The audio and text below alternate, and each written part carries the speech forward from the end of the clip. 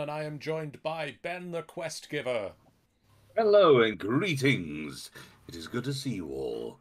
I do see you, so please stop doing that. By Sian. No, keep doing that. No, stop doing Slow. that. Slow. No, no, no, higher, higher. Uh, no, no, no, no, no. To the left. To the left. left. No, no, left. Take it back now, yo. And by special guest council member Sian. Hello. And, and I, not, I love your little Everything. the bit you have on the back wall is perfect. you look so much more professional than the rest of us. I have a weapon wall. The axes are not back saying- up yet. You're saying that I'm not professional with my with work trousers. I've I've got the the wedding invite from the first Christmas crossover special. I've got whatever the hell. These up are my here. boxes of walls. There's Celtic stuff over here. An empty terrarium thing. I've my got- weapon wall. I've got the spell box jam sign. I should, And up, some acrylic paint. I should update the spell jammer sign now. Actually, this is the the Academy sign needs to go, and we need to upgrade that to something else. I have things I've been slowly working on. Uh, I've decided what, for the sake of next time, I've even found so far. This is going to be the adopt a mimic sign. my my evil genius at work sign has fallen down, I feel- I feel kind of- no, which I you're not just a regular genius at work. I feel kind of left out with not so much behind me. So uh, here's a, here's a fuddler with some pants. Proper pants. Uh, Fabulous pants. I, I have a fishy which I'm going to eat. Uh, we are here to apparently discuss the things that are behind us. Uh, Not just behind us, John. In front of us as well. I I do have some bookkeeping things that I have to run through, uh, because while we were doing the trailer loop, Pendragon Nomad resubscribed for 32 months in a row. Welcome back to the FBF Knights. I shall continue to keep attached to this place. Ah, Ah. said said they. And Ben the quest giver said, Yo ho! What do we know? It's time to. It's time again, so let's go. It feels like it's been too long since I've taken over here and given John a song. Let's see if we can get this stream demonetized by getting John to hypnotize. Don't believe the lies hidden behind the ties, in under the cries, and listening to the tires. You get banned for the terrible last line. I know we'll wrap back to reality and get John to do a rendition of Eminem. Ooh, chocolate. Ooh, we will. will. I, Uh, I knew I forgot. oh no, that was not meant to say. Oh God. I'm sorry. Uh, How does That was chocolate not rate God. anyway? that was meant to be rap. I don't know why I've gone and quit. No, you know that. Gee, That there. You'd have seen Jeez. exactly what is written. You really are really full of demonetization. How I'm does sorry. chocolate do either of those things? That was not the aim. Jeez. Those hard little little hard shells don't have and mouths or anything. Oh no, I've run oh. now we need to quickly go through the chat so we can get rid of that little red card. Uh, how, how do you like? this is what happens when I'm put on the spot. It's like, I, like, I have no time. If I just keep, re- if I just keep replying to it, it will just keep coming. No. no, don't do that. I don't want to go and asking how chocolate rapes. No. So, before we dive into the world building, last night I went to see the new uh, Spider-Man into the into the Spider-Verse sequel across the Spider-Verse, Uh-huh. Ruderman. and Goodman. if if you remember from the previous one where they go into the different universe, they have different adverts on things. Yes. Uh, Yeah. like how in our universe they are the New York Police Department, NYPD, Mhm. and in the in the film, uh, Miles's dad works for the PDNY, the Police Department of New York. Right. they had in the background of one of the shots in this film W and W chocolate uh, snacks. Okay. Yep. It is Yep. I got it. I got it. Which which is is a good joke in the background. They're really like W and W is a lot harder to say. is. Yeah. Dub a dub.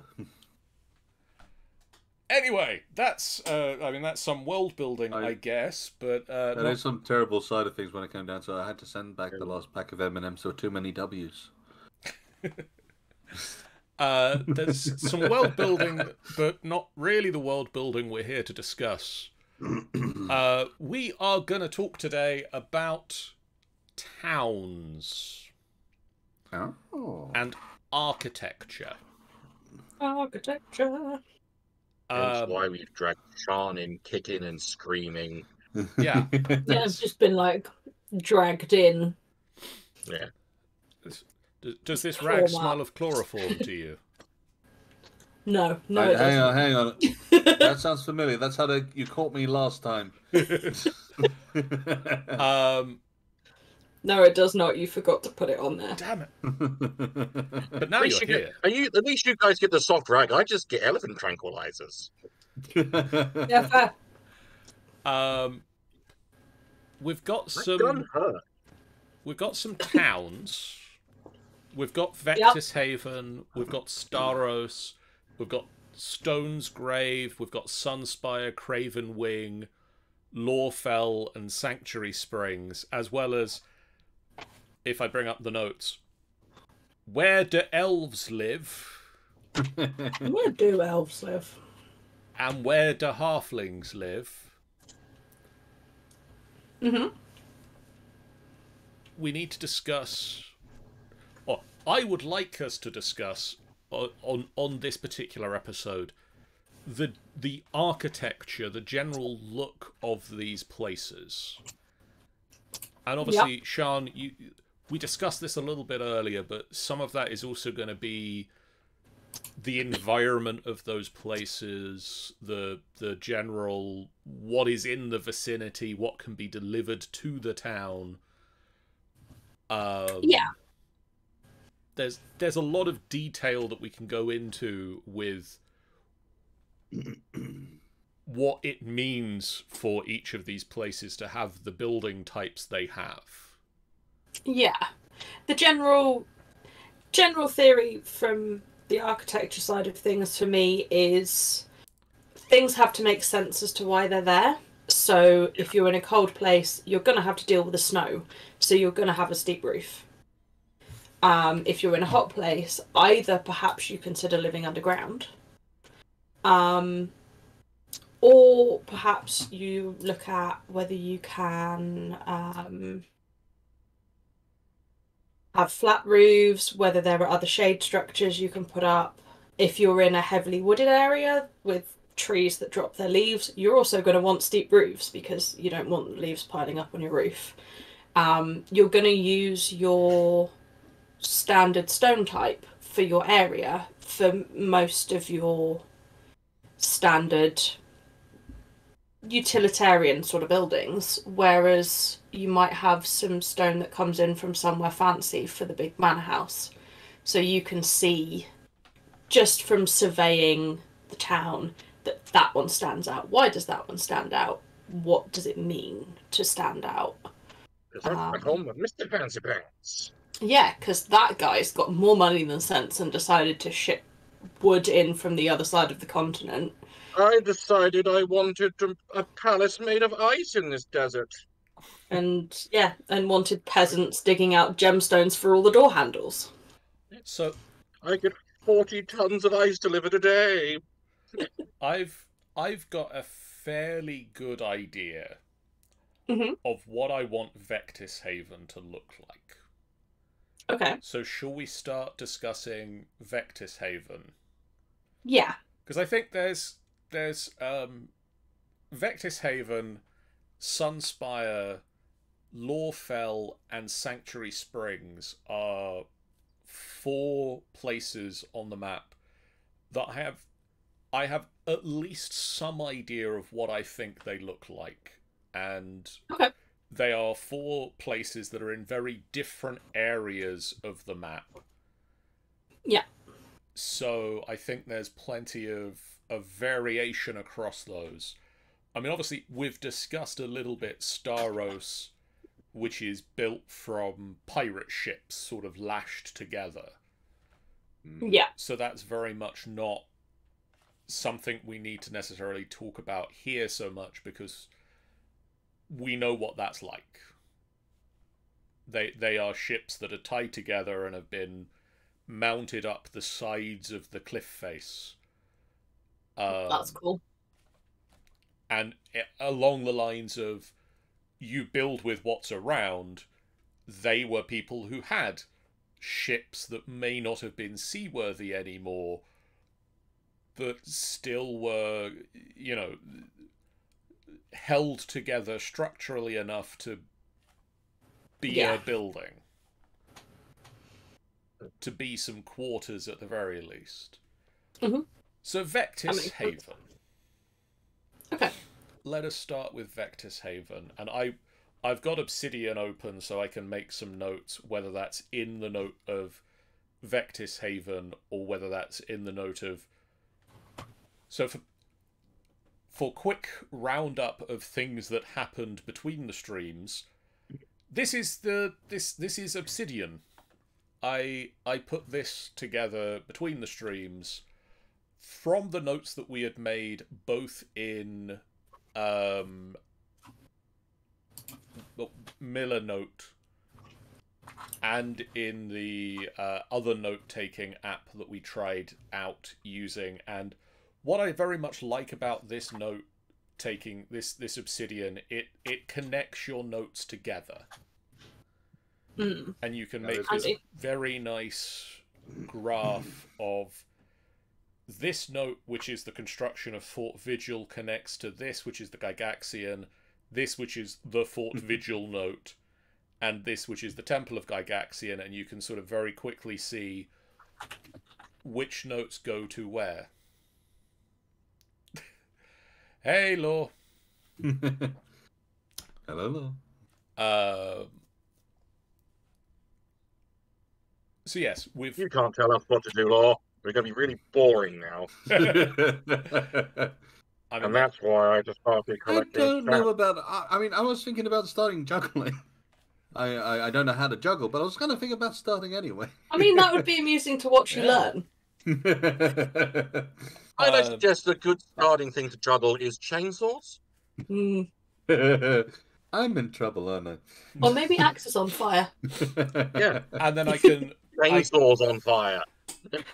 I can Yes. also color the notes so that the li- different bits of the different dots on the graph are nice and colorful and uh, sort of signify what the thing is. So the light red ones are the races, the yellows are locations, the deeper red ones are villainous characters. Um, Oh, villainous weapons. the blue ones are other characters who aren't necessarily villainous. And then the purple at the moment is the timeline events that we have discussed. Uh, and then these blue ones are deep deep blue is extra planar locations, areas that are outside of Tamrinor's prime material. So we have the slumbering twilight and the garden of starless skies. Hmm. So how long before it forms a brain that we can put into a robot? Uh, it's going to take a little while. We need to get a few more connections going, Oh, okay, then fair enough. but we'll we'll get there. Um, All you do say that I'm pretty sure there actually is such a thing out there. it- I'm pretty it's sure going to take a little while for us to get that many connections, but ah, diabetic fudge. Uh, in yeah. the world. Put it in the world. So Vectis Haven. Mhm. It's a port town. It's on the coast. I'm picturing it being very grim, very gothic. it's got factory buildings that are very angular and very utilitarian hmm but it's also got some of the buildings that are like those like the fancy churches and and Yeah.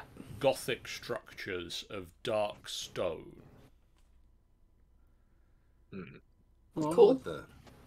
I must have when it came down to my first initial thought. I don't know if you've watched the film called Klaus, the Christmas film. Yes. yes Hmm. That was what I pretty much pictured uh, Vectis Haven to be similar to. But I do like, as you say, throwing in the whole gothic little side in there as well, because it really does sort of pander to the the theme that you're trying to go for there. It's I, almost like you got so much a quickly huts made for the time being, and then proper stone coming in later. yeah i i very much like the idea that the town itself has sort of a very uh, uh, goth in in the the the dark sense of gothic as well like everything is covered with either a layer of grime and coal dust and and industry stuff or is made from such a dark stone that it doesn't matter if you clean it off Hmm. because it is a dark grey or, or almost black stone uh, Right. A very dour yeah Hmm. city. Creates a Like that- very that- that thematic was- scene of sorts. Yeah. Yeah, 'cause what I was imagining is like because you uh, we, we've mentioned a few times that it's going to be quite industrial. Like Hmm. there there will be a modicum of technology in this place to help with being a port town. yeah I was just I was just imagining like Victorian London, oh yeah that But- is very much but- but Hmm. more, but like exaggerated. Like so, the buildings are taller and like there'll be like ridiculously thin ones. As you and- say, it's sort of like a, a grotesque version, which effectively a grotesque uh, London would absolutely turn into effectively a gothic style. Mm, yeah. Really, like, in its I- exaggerations. as weird as it is, like because even now, like when we think of like Victorian London, we think of a caricaturized kind of over the top. Exactly.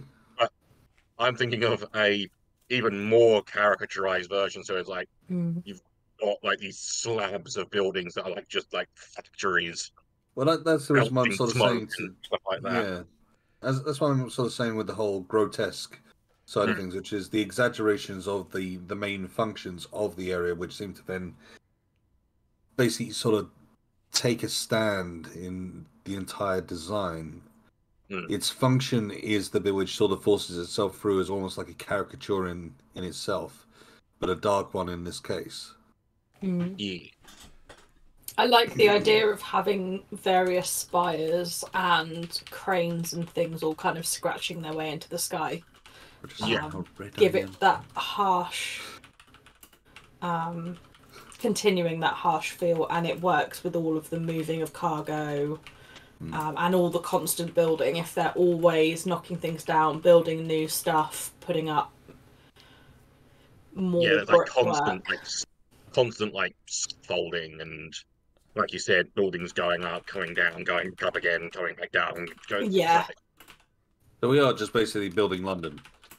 Yeah. essentially. And that kind of I don't know quite how it sits within the map, but the idea almost that if it sat sort of in a slight valley, then you could have not only the kind of sea mist, sea fog come in, it would hold the smog. yeah Yeah. So it could really be that kind of its own little, Al- essentially also, like if- microclimate. Also, if it was um you saying about it like being in like a valley or something, it does make it does remind there's a place in Warhammer Fantasy. Um I can't remember its name now, but it's an area where the valley sides are so high, the place very rarely gets sun. It gets Mhm. bright, 'cause it's daytime, but it never gets direct sun. Is that the place they mounted a big mirror on the hillside to beam sunlight into the town? into the town square. The only place they could do it without Yeah. sort of burning the place down. Yeah, it's it's just like that would just like even like with obviously Mhm. like you said the fog and the sea mist and the smog, and then it also just doesn't get direct sight. It's just a dark, would be- dreary. that does become a very good question. In which case, which way would our sun rise and set? Because if you did end up with such a beautifully dark and dreary area. Apparently, uh, you, you we're putting Laura off of watching for a minute because everybody's eating. I don't It's know what you're talking about. I don't know what you're talking about. Snacks are great for helping with the thinking. Uh, Snack, snack. This is my dinner. so Pretty much the I- same here, to be fair. I like the idea that like the slums, the the lower end of the town doesn't see a lot of sunlight because of the smog, because of the smoke, because of the the Yeah. mists and possibly also just the height of the buildings. Mhm. Like not Yeah. necessarily the height I of was about to say that's what we could. That's if we didn't want to. If we didn't want to have it set like deep in a valley or anything, we could have it that literally is just everyone who's rich has built things so big Yeah. that poor people don't get to see the sun very often. They're, ei- um, they're either stuck in a factory or fucking Mister Moneybags is blocked outside. um Oh, that could be interesting, actually, as a little play on that. Effectively, the bottom being very dark and dreary, but the top being a lot more lighter. Almost Mm. getting breaking out of the smog. You have that's the kind of my thought I had on the valley. You could then have Hmm. the top edge of the valley just lined with these beautiful buildings, and it is all the people looking down on basically their I think workforce. I I think that the the people like Vectis Haven doesn't have that differentiation between Mhm. I, I think that the the rich people who can afford to not live there or who would live in the nice places in Vectis Haven just go elsewhere. yeah. They have word sent to them Yeah, about what's like- going on. they have people that look after Vectis Haven and and watch over the town Mhm. and I would say that no, to sort of elaborate on what you've got, it'd be more on lines of if they'd started it up themselves. That these buildings where they would have resided are very beautiful but run down. And that effectively have been now occupied by the people that they put in charge to look after the area when they've gone off to better places. Yeah. Yeah So Mm. it's still in the entire run of the place. It's still the most spectacular to look at, but it is run down if you were to take a proper look at if, it. if you look closely and most people don't because they're looking at it from that distance of hmm that's Mr. So and so's who owns the factory's house. We don't go there because Yeah, it could also be that actually from the front they still look really grand, but from the back they've had a factory bolted to them. Yeah. And Ah. inside, Yeah. they look Yeah, just garbage, like moth-eaten everything and cracked floorboards and all that jazz. and just a layer of soot. Hmm. A layer of soot on everything. Yeah, you open the window for a couple of minutes And and, then the there's thing. You soot. can even place it so far out for the sake of the food vendors, as a Mhm. little dash of storytelling that you know, unless you get it fresh, straight Mm-hmm. out of the kitchens, you're guaranteed to eat something with soot attached to it. Yeah, Yeah, this place this place needs to be completely polluted. Like all that You're not- into an element of almost costume design that people have tried to make effectively their own versions, almost like gas masks and stuff like that, so where they can work and survive there. It's Yeah. a dreary place where even you don't even trust the air you breathe there while you're there. So to the idea at the very least that rogues just blend in because everyone has some sort of face covering. Exactly. so to just uh, cut in for a moment. Mhm. oh, Uh, how dare you? One, uh, Tanny said a while back, gothic punk town, I think very much there is a a subculture of punk, of rebel against the system types within Vectis Mhm. Haven. Oh, yeah. it is so rich for it that there there can't there- there almost can't not be that group of Yeah, sticking to the man uh, Mhm. people like it it's almost demanding it Hmm. Yeah. um, the other one, the the other question Tanny's asked of does the place run on Steam? I think there's definitely a lot of Steam and and smoke power involved. I think I would say so. It would be very generic. I mean, if we're going with the whole thing that soot's going everywhere, that that would be the main power source. There's Mhm. Or there's source. yeah, it, it's not necessarily steampunk. I think it's it, it's diesel punk or coal Yeah. punk. It's effectively what they've had. Though I would also place in that this would also be a perfect place to throw in some kind of artificers trying to bring in a new technology of Mm. sorts. well, we've very It was much like trying to force the- the- magic into it. we've very much got the unnamed race, the forged race, Mm. and Yeah. their thing, and the the artificers that work with that. Uh, yes, Tanny, please throw suggestions into the chat. Unlike yeah, well, uh, for unlike any- the pub quiz, we're very welcome for you to put your answers in the chat in this stream. Just remember to remember to do the exact same thing in a pub quiz. Put all answers straight into the chat and all suggestions. Any questions with answers.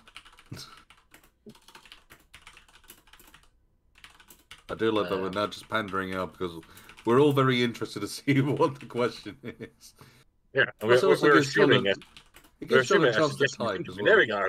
Oh, Maybe create mood boards of images of what structure and style you want to show for your lands, I towns. Think that's definitely something which we need to do next. I think that- to a degree, I'd even suggest that we may even pull yourself in for that one, Tanny.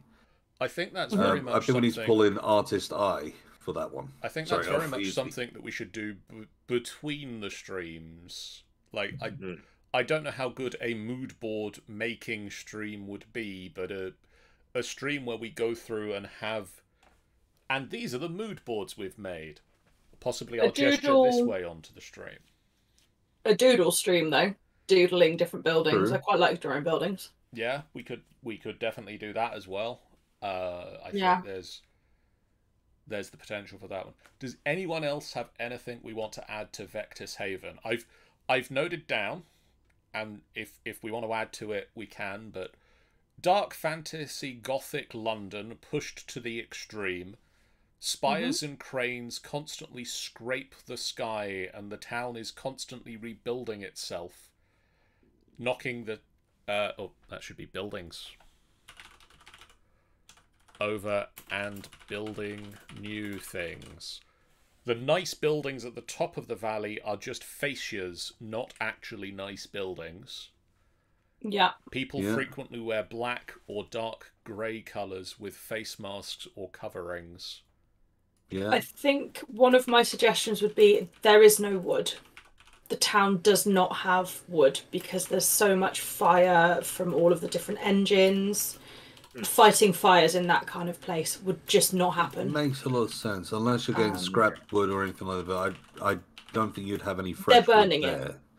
I don't know. I grant you that, but Yeah. it's more along the lines of that whatever's it's made like- is not going to be lasting. So you might come across a wooden structure, but it's already being ripped apart. Yeah. I think Or also it's, or it's like scrap that some person's made a shan like a shack out of. Yeah, Yeah. exactly. But even then, the panels are being ripped off. They're being taken Yeah. to be burned. Yeah. I think as well that begs the question of is this a place where like what are they making here? Um so are they working a lot with metals? Are they working just something to think about? It doesn't fit with the architecture that we're doing, but it would be a question mark I would put in there. Would be what sort of stuff are they actually making? Yes. Um, It's not And- just Yeah. how are they getting it in and out of the town? I like the idea of having some really big lock gates. We have said that when it comes down for the sake of the motion, there was the reason behind all the rivers and the locks. So yeah, they Yeah. th- Vectis Haven is a port. It is uh, it is on a large number of rivers that lead back into the center of the continent or out Mhm. from the center. Um, there is the possibility of of trade being run through the town, Yeah. but I think possibly yeah, just shipping Yeah. from it. Um, I yeah, I do have one more point which I'd like to put forward for the sake of the structure and how it's created, yes. which is uh, when it comes down to roadways, alleyways, and such like that. The only ones which are wide are the ones which are for function. So they were made for carts to be pulled up and down, and they're made for. And basically, you'd have the functional ones, in which case you need to get out the way of whatever the function's for. Mhm. or you have the side ones which are basically they couldn't care less about who's walking down the sides it's for you to try and manage your way around so it's almost like tons and tons of little tiny shallow alleyways and a few wide open birches which are literally designed for no no this is taking stuff to the factory or taking stuff over to this or taking down to the port and if you want to use this way you need to get out of the way of whatever's coming through It's it's almost that equivalent of the old bridges with the little triangle step out sections yeah that you get. So it's like that, but they're literally divots in buildings, and you just have Exactly, to yeah. get in them. So Yeah, apologies. Cool. I I was dealing with pop-ups that were appearing on the stream for some of that. Uh, what what note am I making for this?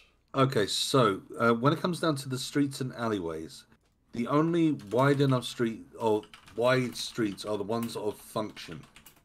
They are the ones which are designed to take things from one place to another place, usually from say the port to the factory or something along those lines. Every other alleyway, basically all space has been taken up shy of a bit of a bit of room for you to move around, so they become like very tight alleyways of sorts.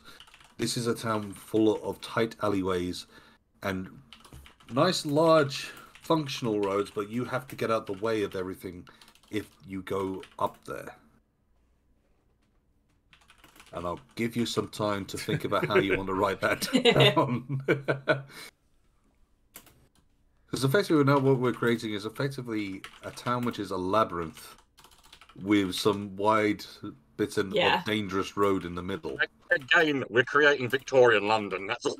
Oh yeah, god, yeah. basically. Oh, don't get me wrong. I, I'm not taking away from that little aspect. It is definitely Victorian London, and we're not exactly making the road system any easier. In fact, we Oh, might no. have just cranked it up a bit. But it just goes to say that it, it's literally one of those bits where this place is not designed for the people who live there. It was designed for the product which comes out of it, Yeah, it, it's Yeah. designed for the industry. which we'll figure out later.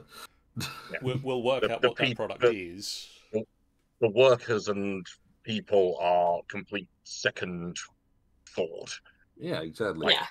I, I wouldn't go second thought. I'd say like maybe fourth or fifth They, thought. they were considered at some point. They're a necessity, unfortunately. Yes. and even that's up for debate. Um, I've just realised I'm going to pop the I'm going to pop the graph here and the righty bit over there so that we aren't over the top of the writing at the very edges. Yeah. I don't think That's we a good call. but just to make sure.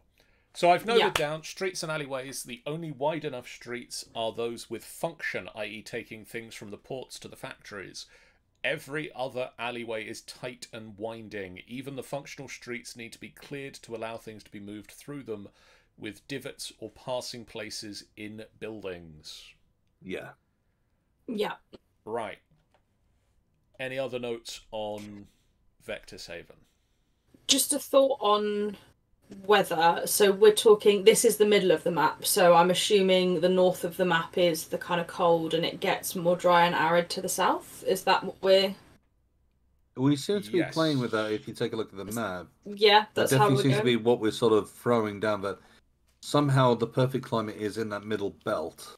Yeah. And the extremes have got themselves to the top and the bottom, yet surprisingly not hit affecting Nor Rock. Or the the islands to the sides, which Yeah, The- we, we could need to cover. we, we can the find a way to islands to, the that. sides have not been uh, Heavily discussed. have not been heavily discussed, nor have they been coloured to match the potential climates of. them. Yeah, To be fair, when it comes down to it, there's another question of how the climate is actually created in the first place.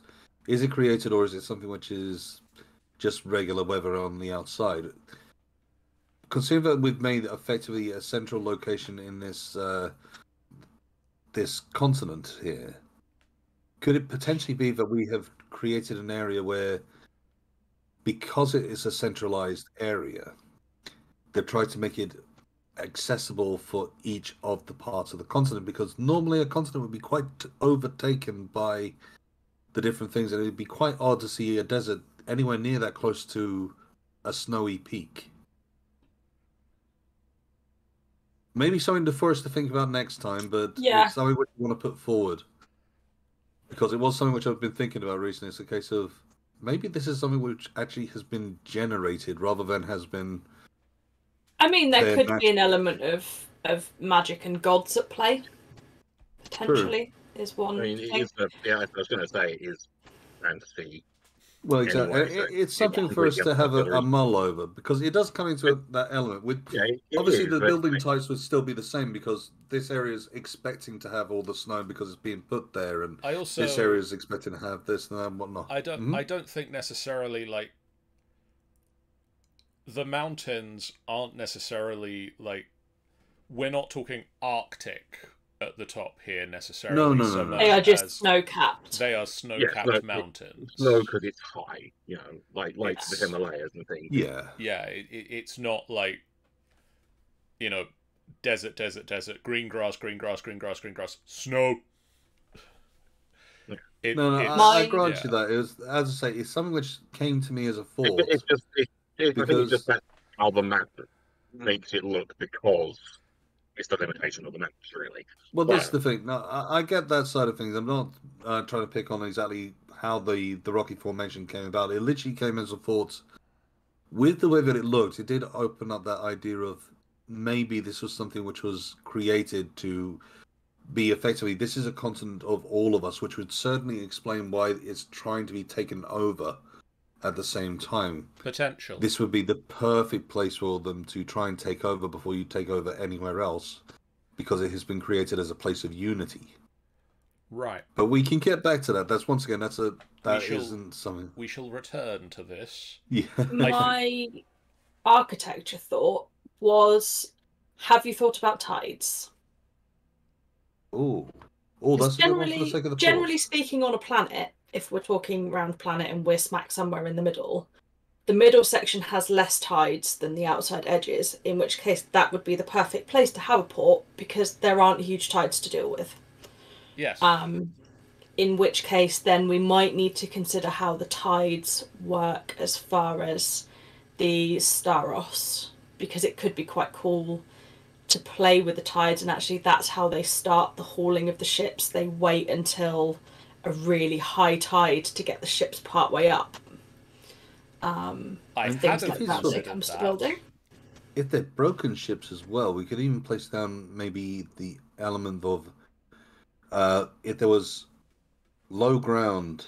I can't remember what if it's called, but underneath the water, effectively as you come in. Like sandbank kind of. Effectively, so it's more a place where people get caught, and then when the high tide comes in, they drag it in and add it to the structure. Mm. I need to I need to be right back. I've got to deal with uh, deal with something. I'll be right. I'll be right back. Okie dokes. Okay. We believe you. I'm gonna. I'm just gonna turn your camera off for a minute because I can do that. But yeah, maybe maybe just a note on the tides are quite even in this particular port. So you don't see the big tide swings, the different you know, like when you go and you walk up a river that's tidal, you can see that shift in where all the trees Oh cut god, off. yeah. Like you don't get that sense that you get that there.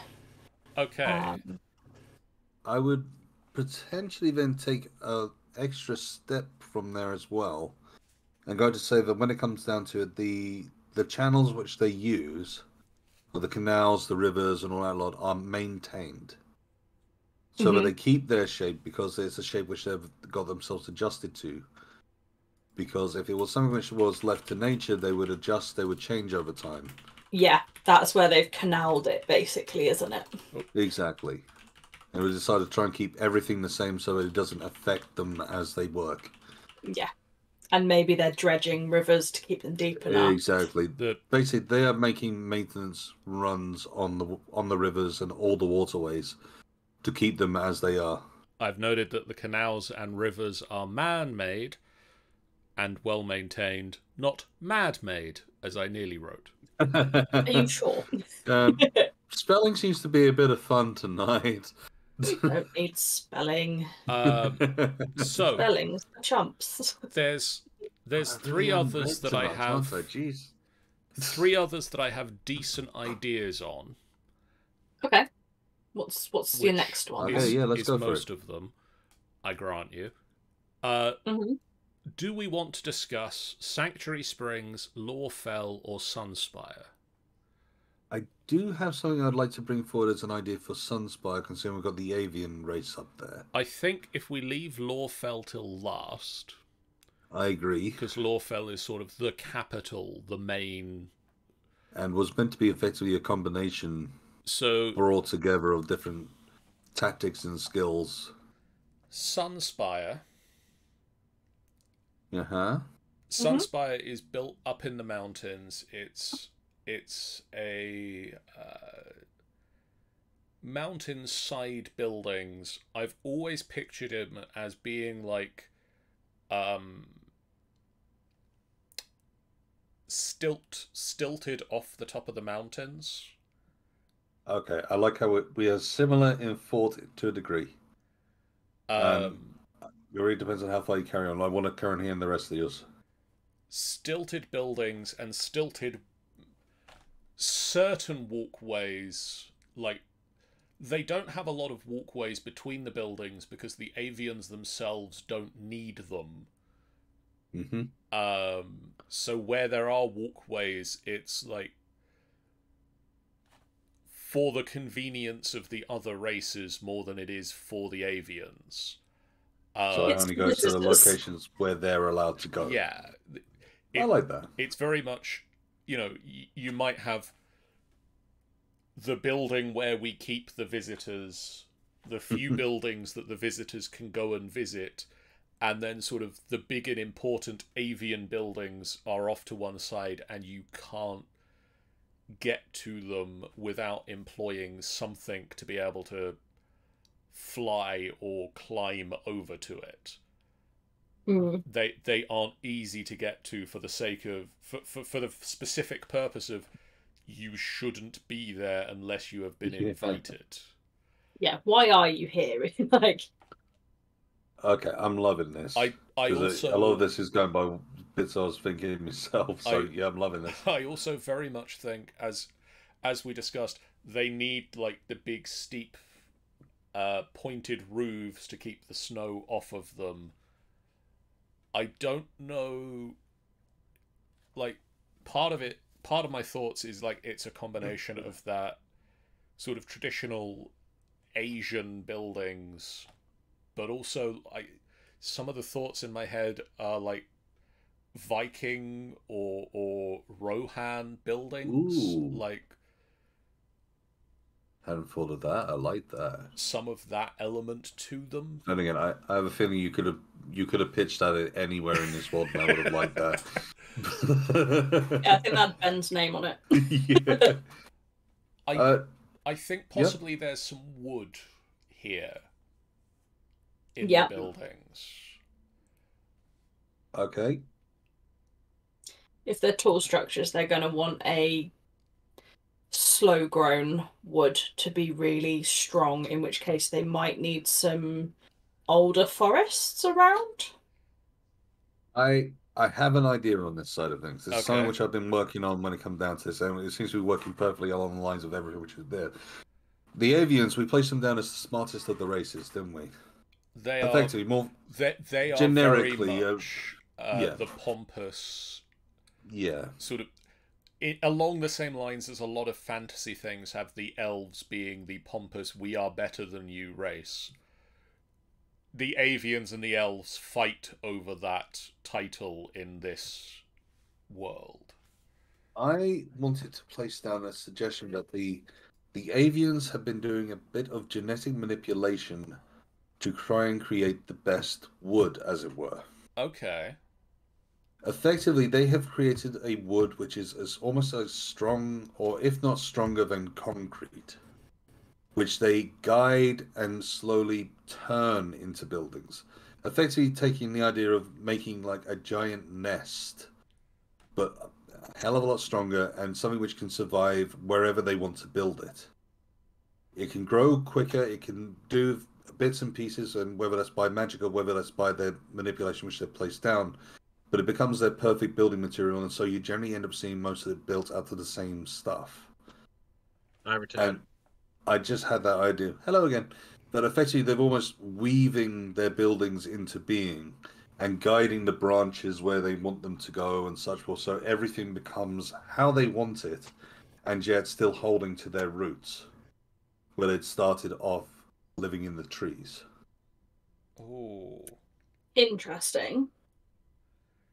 I, And I was I- thinking I- I That is about as far as I got with the idea, but I just like the idea of exactly that. And the nest spires, exactly, milady, exactly. I I I do like some of that for I I was liking some of that for the elves as well, but yeah. I I feel I need catching up because I Sorry. don't know what you're talking about. Uh, We are discussing Sunspire, the home of the avians. right. Uh, so far, we have discussed that in in my viewpoint, they are tall, stilted buildings built into the side of mountains. Uh, Yeah. The the buildings themselves are difficult to gain access to. One because they are built at the top of the mountains, which is obviously already difficult to get to but also because the avians themselves don't need walkways between their buildings. The walkways that are there are very much for when the the, the lesser folk come to visit. Yeah. Uh, and so they are sort of between the very utilitarian avian hotel, effectively, and those parts of the town that we let the visitors go to. Yeah. And then the rest of the buildings, like the homes, the the more elaborate parts of the the archives, everything else is accessible because the avians can fly to it, and those that they allow to go there will fly to it. Will be flown to it. or dragged. Yeah. Um, and so I was saying, sort of, and sort of having very tall, uh, s- sloped roofs to make sure that the snow runs off of them. Yeah. And then very much either the the sort of traditional Asian buildings or with a flavor of Viking stroke Rohan styled Yeah. like great halls and things was was where my yeah, mind it's like very going. very high, very high peaked roofs to allow the the correct angle to allow things to just run off yeah and for the dragons to land on top. rather than just stack. um I like the idea with Ben's thinking about stuff growing into shape. I'm wondering whether you can use that as you know, like when you go into churches, you get all of the arches. Mhm. Whether actually each of those are trees and then they grow up out of the roof, and then the rest of the walls have been built in in between out of the same sort of material, but it's been manufactured and just honed slightly. Because if they can grow something this strong, then I would imagine they would also then be able to machine something that strong. You know the other the other thing I really like with this idea of them them growing the trees into the buildings is that is something I'd been thinking of for the elves because I, I was also thinking practically the same thing for the elves like because they're plant people, so it makes sense for them to do it. elves having plant buildings that they like tree houses, but literally tree houses, like houses that are built out of a tree that they All have. built inside giant trees. Yeah, To be fair, Like- when it comes down, we've, well, we've already got a a contest between them That's already what I'm thinking. who's the The- more the intelligent. contest. That's another thing I But was. effectively, I it was comes about down to to say. something. We created this first. No, we created this first. What you're stealing our idea. But also- Yeah, like- again, it's an, another thing where it's like both of them, both of them claim to be the oldest race, but they don't actually 100 percent know. exactly. but and, it's, and it's the same also- way. It's like, we created this. No, we created this. And once again, they both not sure which one of them created this. But not just that, but they then have contests over who can make the best thing. Yeah. Like, Yeah. and because they So are you've both got more and more like like in both in both cities or towns, whatever. You've got more and more flamboyant buildings being grown. And it's like, well, we've got the most, we've got the best looking grown buildings. No, we have the best grown building. But you've also got elves versus avians, who are both the long-lived races, who are like, well, I've spent a hundred years growing this tree into a, uh, you know, the local school. Yeah. As a, yes, I've spent two hundred years, and I've fashioned this tree into, uh, I don't know, the yeah. Well, I fashioned this It is a tree into that into our college. So, well, well I fashioned this one. Hi, Hello, Irish demon. Hi, the Irish Demon 1993. Welcome in. This sounds chaotic. It is Hello. chaotic. And that's half the fun.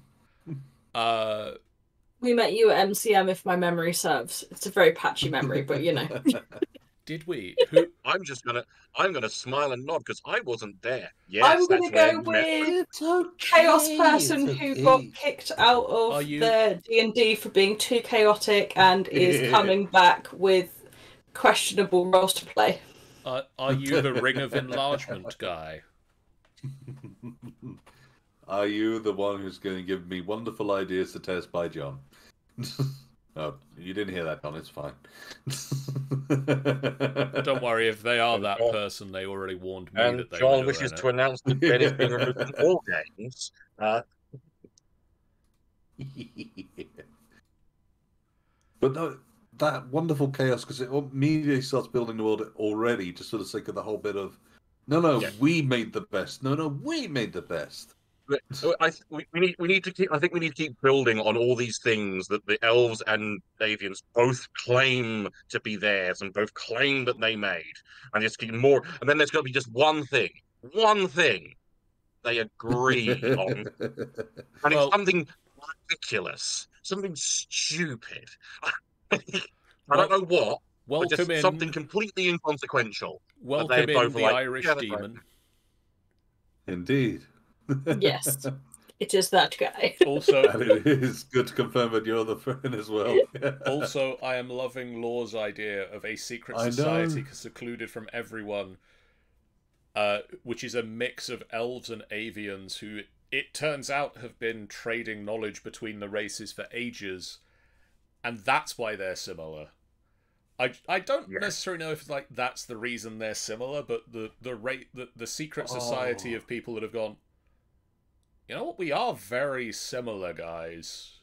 That does Yeah. immediately sort of throw in my. we- I'm why imagining we- there's something like our version of the White Lotus. Yes.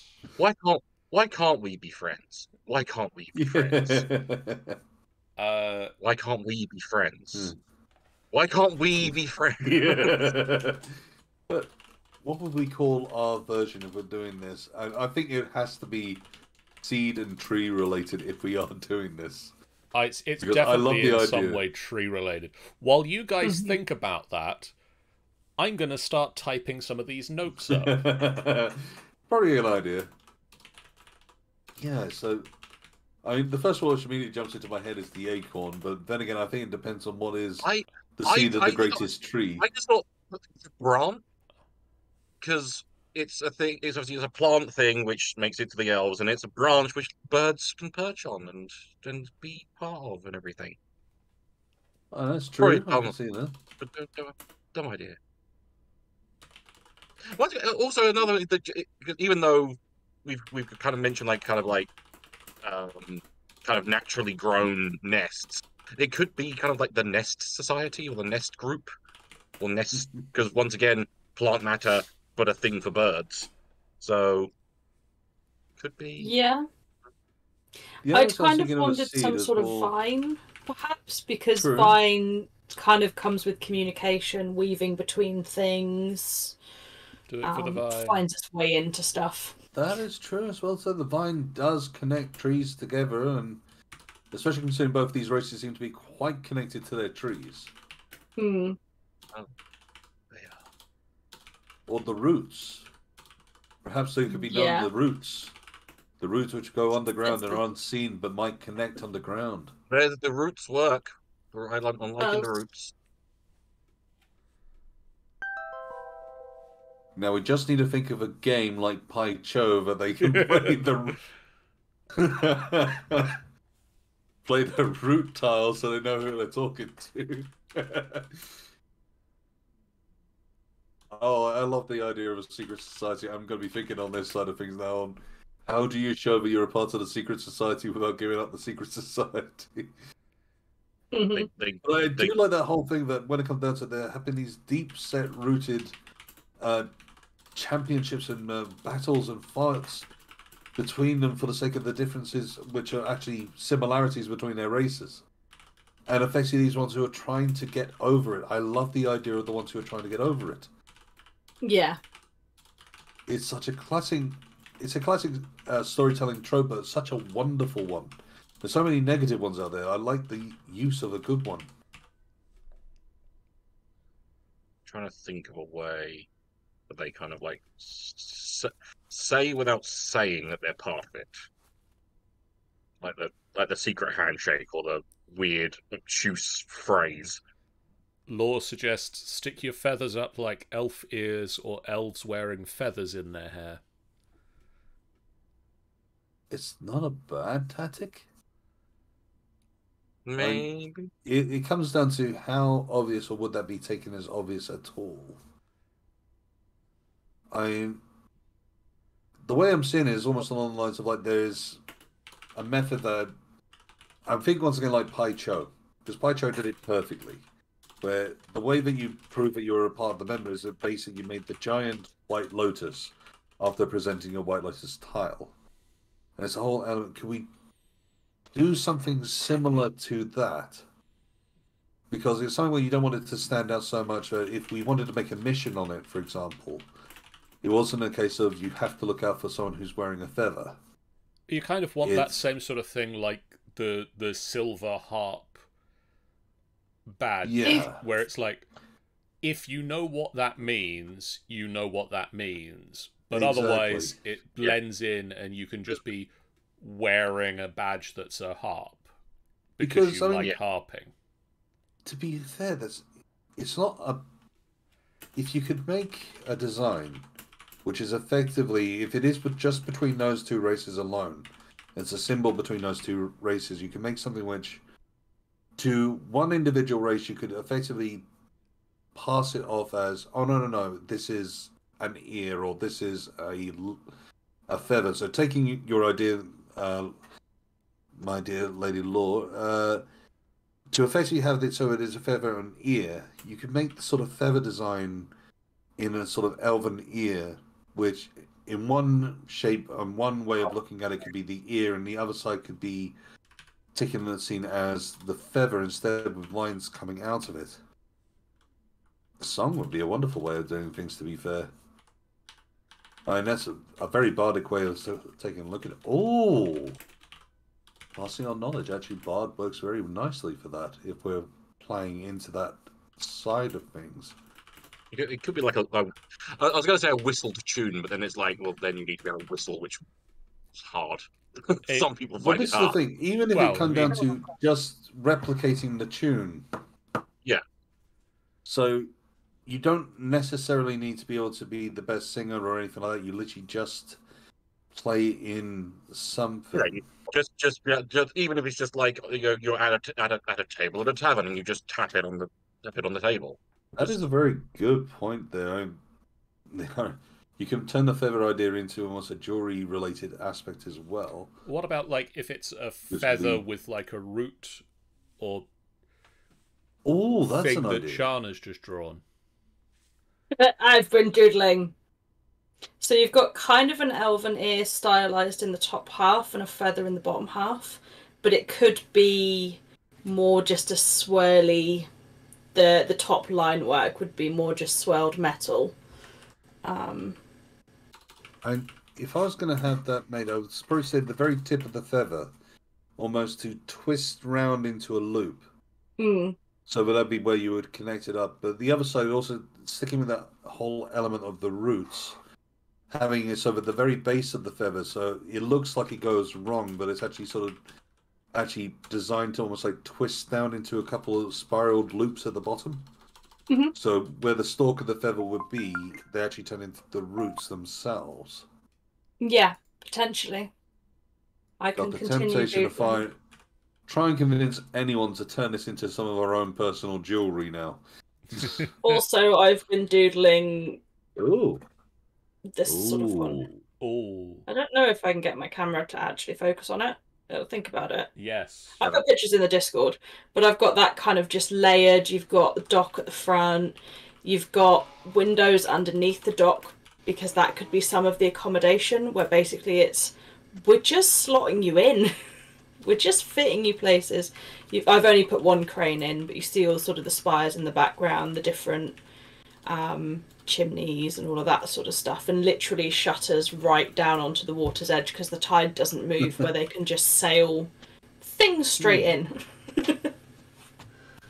just, just doodling more than anything. Oh, it's a good doodle. I'll say that much. It seems Law to would also nicely. like the jewellery now, please. I also do like your point there, Law, that obviously the way that birds harmonise is very unique. And almost that element that, yes, the elves could be humming something which is entirely their own. The bird races could then come in and almost harmonise to them. and that way you have that connection.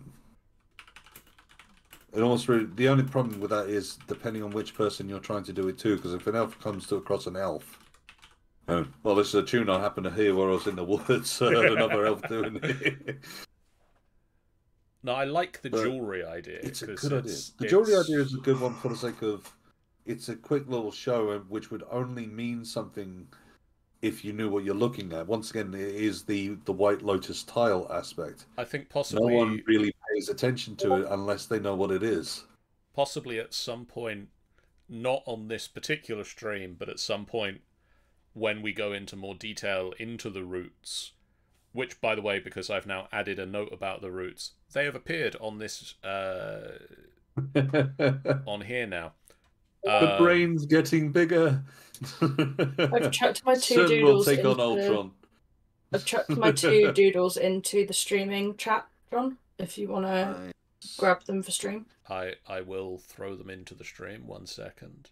That's not. they are just just doodles, but I don't know if you're you guys were doodling talking, actually though. towards it's me. I'm just playing with my egg. Uh, Ben has egg. Uh, so where's that going to open? Pardon me, too much screaming today. So Doodle One here is is a view of Vectis Haven. oh wow! there you go. Okay, yeah, your camera was really not doing that justice. Nope. Uh, and then second thing here is just a quick sample of the feather ear jewelry combo. Yeah, that's to say, I think with that one, literally having the top of the feather sort of twisting around and almost becoming like a Yeah. necklace. It depends on what kind of uh, uh, jewelry we end up sort of suggesting. If it's like a pin, you're almost perfect there. As I say, I think with just the the very bottom of it, almost having it tail off and sort of twist into a couple where it looks like it's a mistake from the jeweler, but actually that is the point which means something. It is the roots. Uh, but I think that Yeah. I think to go along with that piece of jewelry, be it a, a necklace or a brooch or, or something along those lines. Some sort of hairpin perhaps. I think as when it comes down to it, it doesn't necessarily matter what the jewelry Yeah. is. It's more the, if you've the got design, the design right. Uh, but the Exactly. the other thing to go with it, and that'll be a thing that we can discuss in a later stream, is I think there needs to be both a call and response Yes, definitely. uh, that that you give and that the other person gives the correct answer to to be like, I am identifying you as a member of this group, not just someone who happened to see some cool jewelry that one time. yeah. Uh, I don't think That's that's, the other side of point, things. uh, It's that whole aspect that once again, it's a bit like once again, I've kind of thrown down about the Lotus tile. The Lotus tile is literally there as the opener.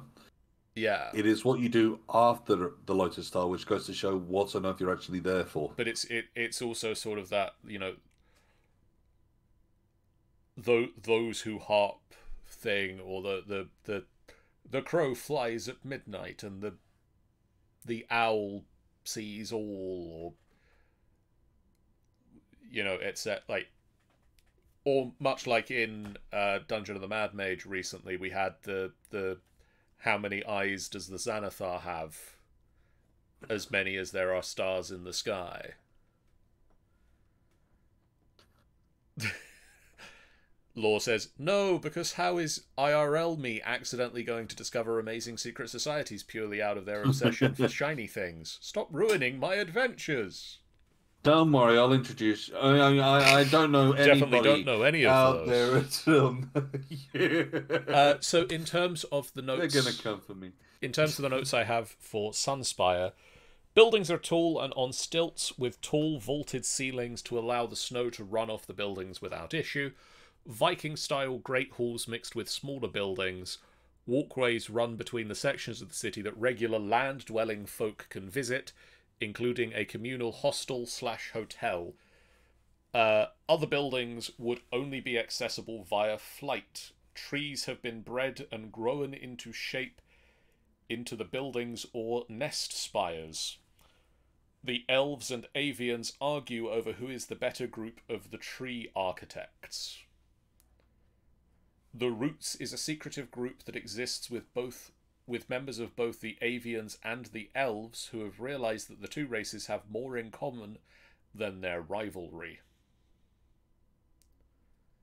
And that is a note I'm going to add to the elves and to the avians actually because I feel that that note should be in all of these places. Uh, I've also started, by the That way, it's not a bad idea. one of the th- one of the things I have started doing is putting in the um, where I've got them. I've started putting in the the racial traits and like actual gameplay bits for the races.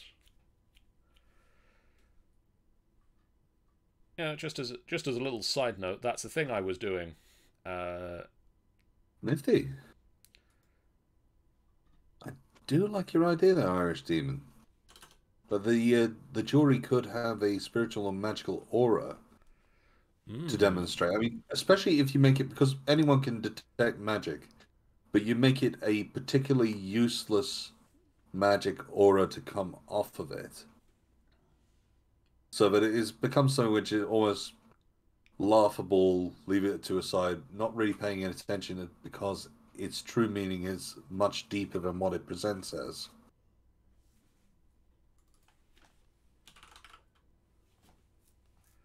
Hmm.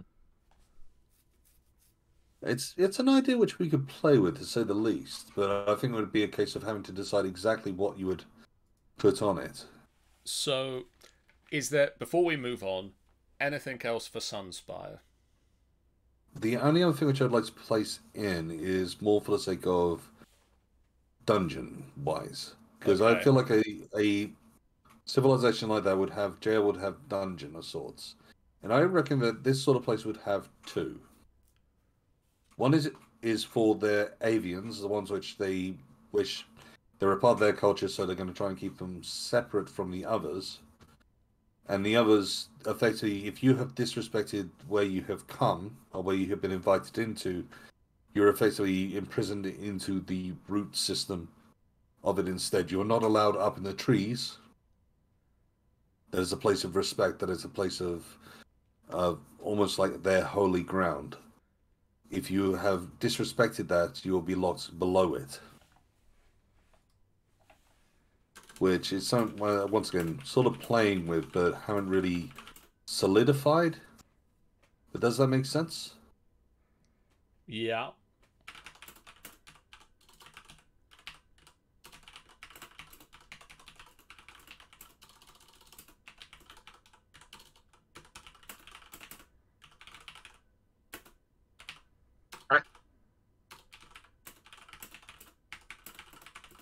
What was that? It's a jar. I muted. Um, if you had like columns and things of roots, um, like so it's literally hollowed out under the tree, you could have that the roots have actually been intertwined together because they are this ridiculously strong material, to where it creates various different sort of almost a few labyrinthy kind of spaces and a few cell type spaces perhaps. Because it does also open up the possibility that if you have a dungeon like that, and that's how they've sort of designed things so that they can lock dangerous people away, you also have the same method which they could use potentially to lock away, uh, probably higher up and once again in their main area, items of high importance. I feel very much there is some element of of the archive that is that warehouse from the end of Raiders of the Lost Ark, Yeah. like that that bit where it's like we've got that locked away and you don't need to worry about it ever because it's in this building we keep all of the shit in. Nothing could go wrong with that, right? Right? Um, so I've just put if you've been invited into the town and disrespect the laws, you are locked into a dungeon built into and out of the labyrinthine root network of the buildings. Mhm. yeah, it sounds good. Um, okay, let let us move on, and we are now going to move down from the very north of the map. We're going to go down to the very south end of the map to Sanctuary Springs. Okay. So is this kind of oasis in a desert sort of Yes. vibes? Okay. This is Cool. this is the civilized bit of the desert. There might be there might be nomadic people that move around the desert. There might be other small settlements within the desert. We've not really touched upon that. I think we did at one point between streams name the desert. Did we name the desert? I don't particularly remember that, but then again, uh, wouldn't surprise me if suggestions have been thrown around. Ah, yes. The suggestion for the desert is Erum. Yeah. Uh, the name means empty place in the language of the elves. Ooh. I yeah, do that's like it. pretty cool. Uh, yeah, it's a good name. And the reason I couldn't find it when I was looking for it now is I didn't put it in the right folder on my notes. so it's it's there now. It's one of those things where I know that you've you've said in the past where suggestions will be put aside until they're confirmed, and it wouldn't surprise me if that's perhaps what you've done there. That's possibly possibly that was a thing that we discussed briefly between streams of what do we call the desert? Uh, are we okay with calling the desert? Arum. I like I like think the it's got a nice nice ring to it. Uh, it means empty place. Yeah, it makes a lot of sense, really. So s- yeah, Sanctuary Springs is it's it's built on the edge of the oasis. It's not a big place. I'm I'm sort of picturing it being very one-story buildings, sandstone constructions. Hmm. Sort of as Sean was saying, either before the stream or at the beginning of the stream, flat roofs. Yeah. Hmm. Um, I like the idea of lots of sort of fabric shades strung between buildings. Yeah. So you get this really nice effect of like light cutting through spaces because you're in under sort of it's all light and airy, but it is in the shade. Um, so it doesn't feel heavy, but it is very, you know, white fabric draped across between any surface possible because they want to try and keep it nice and cool and that sort of thing. Um, it might also be things like shutters. Shutters quite often appear in um, Shutters Warm in places, place of 'cause- windows. Well, yeah. Especially for the sake of if you got a, a sandstorm of any kind, Yeah. it gives a stronger defense against that coming in. Yeah. Plus, I guess It you, also gives you the you can open the shutters so the air can come through, but it completely Yeah. cuts the light, so You- you don't get the heat. you also don't want windows in the desert because they keep the heat in. Yeah. And light reflects off of them and sets stuff on fire. We know because buildings in London. Al- Yep. Also, that is there. Putting this forward, is there a bigger building that's like the central thing in the town? Might be the bazaar. It might be the the home of the mayor or the person who runs the town, or I do have a suggestion to go with this, and it's more along the lines of uh, once again going with the generalized uh, desert building, or at least some of the, the concepts, okay, which is effectively to dig down. yeah, You you go down the because the the earth itself helps cool everything out. Basically, you create a, a lower level. Uh, for the sake that that would be quite the uh, the thing to do. It's not exactly an easy task for anyone to do. So I can imagine that one becoming almost like the the socializing area of sorts Um, that they've all contributed and put into. So it becomes your bazaar. It Yeah, I like it being the bazaar is this. I mean, for one, it's a very bizarre bazaar of you go you go to the center of town and there's a building and you go inside and you there's stairs downwards and it's like you go into what is effectively you know a, a very small one room building and you go down inside and it just opens out into this large underground. The other thing, like from a, a building point of view and from a um, eco-friendly building point of view, if you build buildings right and you build them almost like tall stacks, you can get the air to pull in through small side sections to then funnel out through the middle. So you would probably want some almost column, empty column like spaces with buildings in and a big central open section that just vents the heat out basically yes, um, yes as a would. subterranean and you it could be quite an interesting thing to be able at places to sort of see in um in old london it used to be really they used to hide some of the vents from the sewers in sort of buildings that weren't actually buildings oh Yeah. like but, the, but you walk past them and you wouldn't really know the building I've in still got some of those of the the thing, yeah. house that Yeah, back like, like- a foot yeah, some of those kind of things would be quite cool, but actually for drawing the cool air in, um, so that to help the the space vent.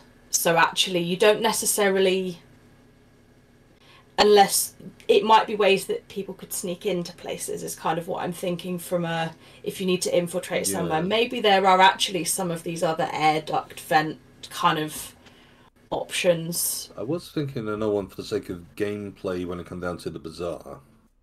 That played it a bit like uh, going into a saloon of sorts. With this is meant to be a sanctuary. This is meant to be a place where you don't have to worry. When it comes down to the bazaar, to make it so that everyone's fair and no one needs to worry that you have to give up your weaponry before you're even allowed in. It's not that you won't get it back. You'll quite happily get it back. There's not a trouble there. But for it to be the safe space which it is, that everyone is level pegging, you have to give up your weaponry before you give before you go in, which opens up a wonderful gameplay option later on. Mhm. But it also goes and adds in an element of how their land works. It's that element of we are in a sanctuary, and if you are to enjoy our places, you have to trust us so we can trust you. Yeah. Yeah. Once again, adding into that little bit of world building as well. My my other question on Sanctuary Springs is it walled? I would say that the majority of it is probably a bit more open. This is a place which I think, as far as we've been building it, is more a case something which is slowly coming to be more of a town. For the time being, it's more. It was something which has been created there out of necessity, then slowly built into a place where they could create the bazaar and a lot more odd deals could be done here. This place is a bit more off the beaten track. It's not an easy place for people to get to. So when it comes down to, I, it's not that they don't want a wall. I think that it's that they haven't been able to get to that point yet. Okay, so is it planned to be walled? Is there a wall in progress? Have they have they got a gate and like section of wall that they have started, or is it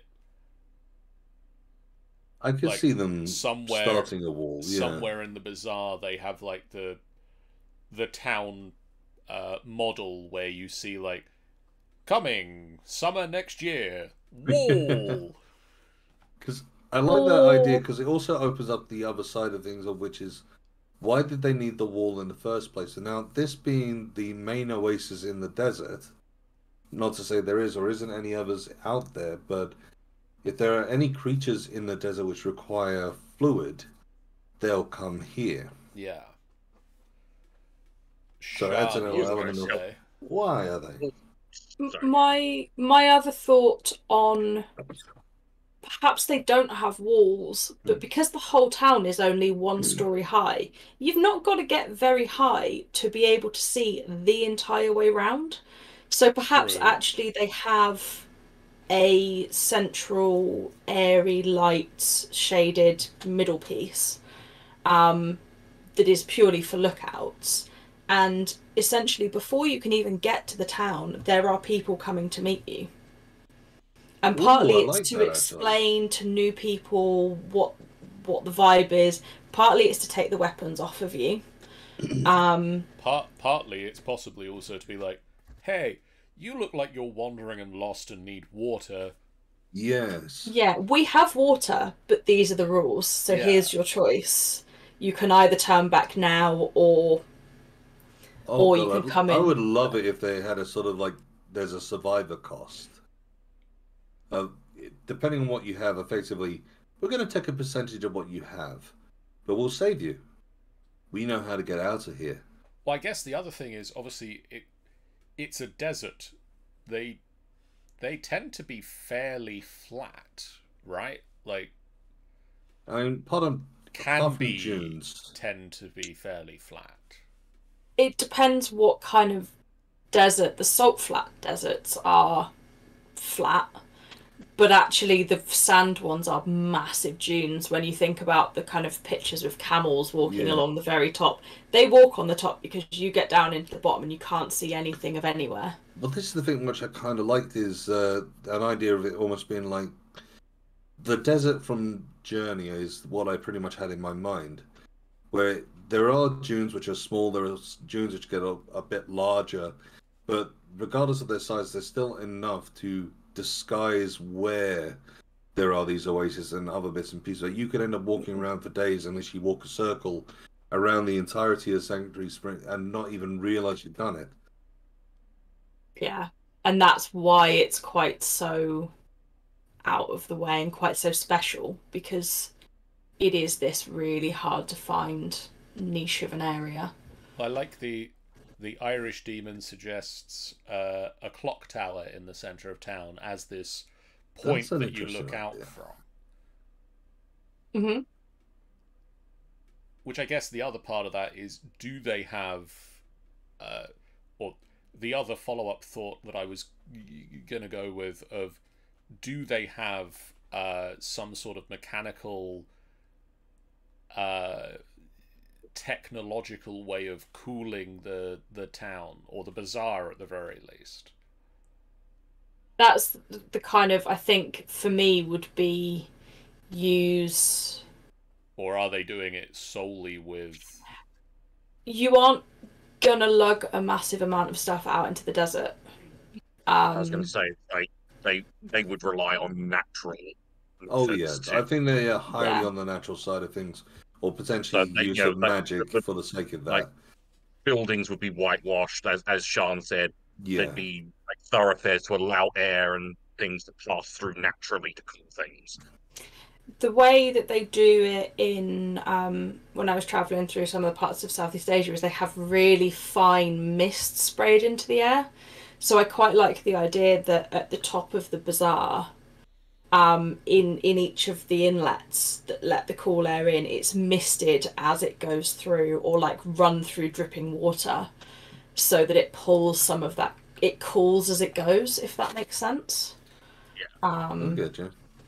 so it's yeah I, I imagine as much natural as possible um which you can um you can do especially if for example this particular place has wind that regularly goes in one direction.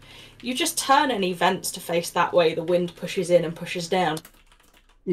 Um so i think you could i think you could do it very very naturally without much issue. And if they're living underground um, for a chunk of it, then it's not a huge problem. My other thought with the kind of you have to give your weapons is perhaps the people who live on the very top. It's a little bit, it's still safe, but it's just a little bit dodgy. But Oh, then no, to no, get into these column stacks, it is you give all your weapons, nothing comes in without us checking it. Like, is much more. If you want to enjoy the cool in here, then it's our rules. And then it doesn't matter so much about whether there's a wall around the outside edge of the settlement. It's we're protecting the cause of these The- these cool the thing- spaces. The thing I'm thinking about in terms of like a wall around the settlement is would they want one not necessarily to keep monsters and creatures out? Would they want one to obviously a sandstorm wouldn't be stopped by a wall, but it would be Negated at a lower level at sand least. not being quite so stacked next to houses. Yeah. So maybe they would want one purely to so they don't have to keep digging their houses out every few days. Yeah. And that when one blows in and it stacks sand up against it, they then the next couple of days, once it's settled down, take the time to pull it back out Yeah. again and, and shuffle it. Right. They get like the people they don't like to go and trouble sand for the days. Yeah, that could be interesting.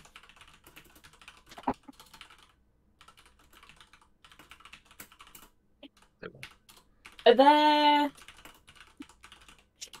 um creatures that live in the desert? Is that is that a thing? We we have not discussed it yet. I, I would assume there would be. There's got to be some sort of threat in the desert, hasn't there? Yes, Oh Right. god, yeah. almost certainly. What it is, Yeah. we as I say, we haven't discussed it yet. Uh, I mean, we do have Because that would also be wall kind of yeah. Wall worthy. on on the list of Mm. races we have the Lasata, who are lizard folk. hmm I mean, uh, lizards are deserty.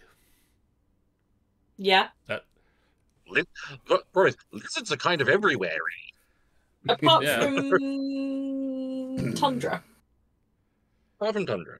But but lizards They don't do well in the cold, but other than that, they're everywhere. li- lizards could get on very well in the desert.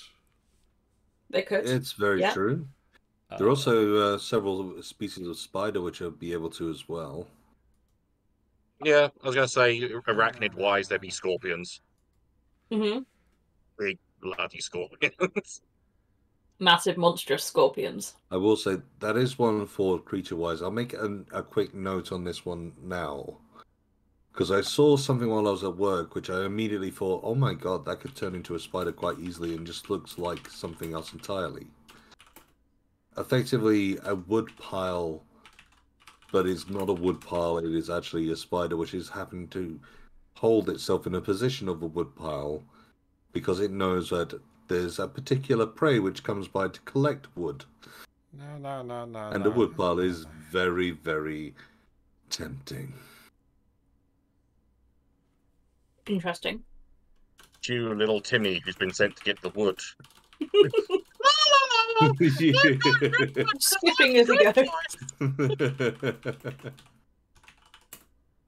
goes. I literally saw a wood pile today. It's like the way that that is fallen together. It just looks like it could be just the eight legs of a spider in waiting.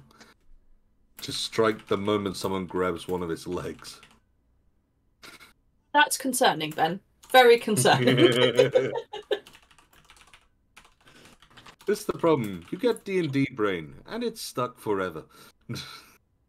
Everything's a problem. fantasy now. you make mimics regularly. yeah, that's They're getting into your brain. I must say, I did sense the irony when it came down to all manner of different bits and pieces, which I've been making and doing. and just sort of.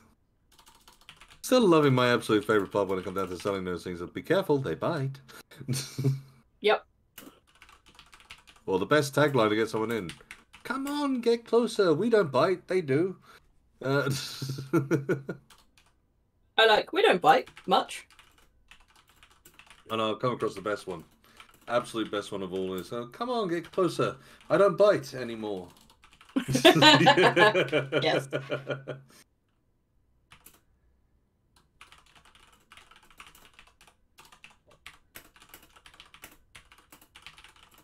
Sorry, Just Trying to I need to put my egg down. I can't play with my eggs.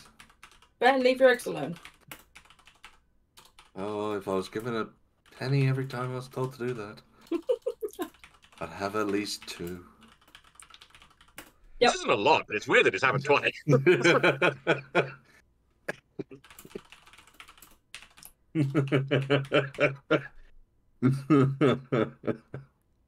You can't. love You that. can't. You can't don't set me up a Doofenshmirtz line and not expect me to take it. Yeah. I, I feel Sean needs to read the message in the chat or have the message in the chat read to him. Ben, read the re- read the message from Yeah. Law in the chat. I don't bite. Since the incident. The incident. So are we saying there is a a wall that has started construction to stop potentially large spiders, lizard folk, and sandstorms? I would say To stop, so to stop to to help alleviate weather and protect from Yes. the various yeah, beasts. That, that's a better way of placing it. That it, especially considering the sand dunes, if there are sand dunes, they will shift all Mhm. the time thanks to the wind. So having a structure to try and stop the sand dunes makes a lot of sense.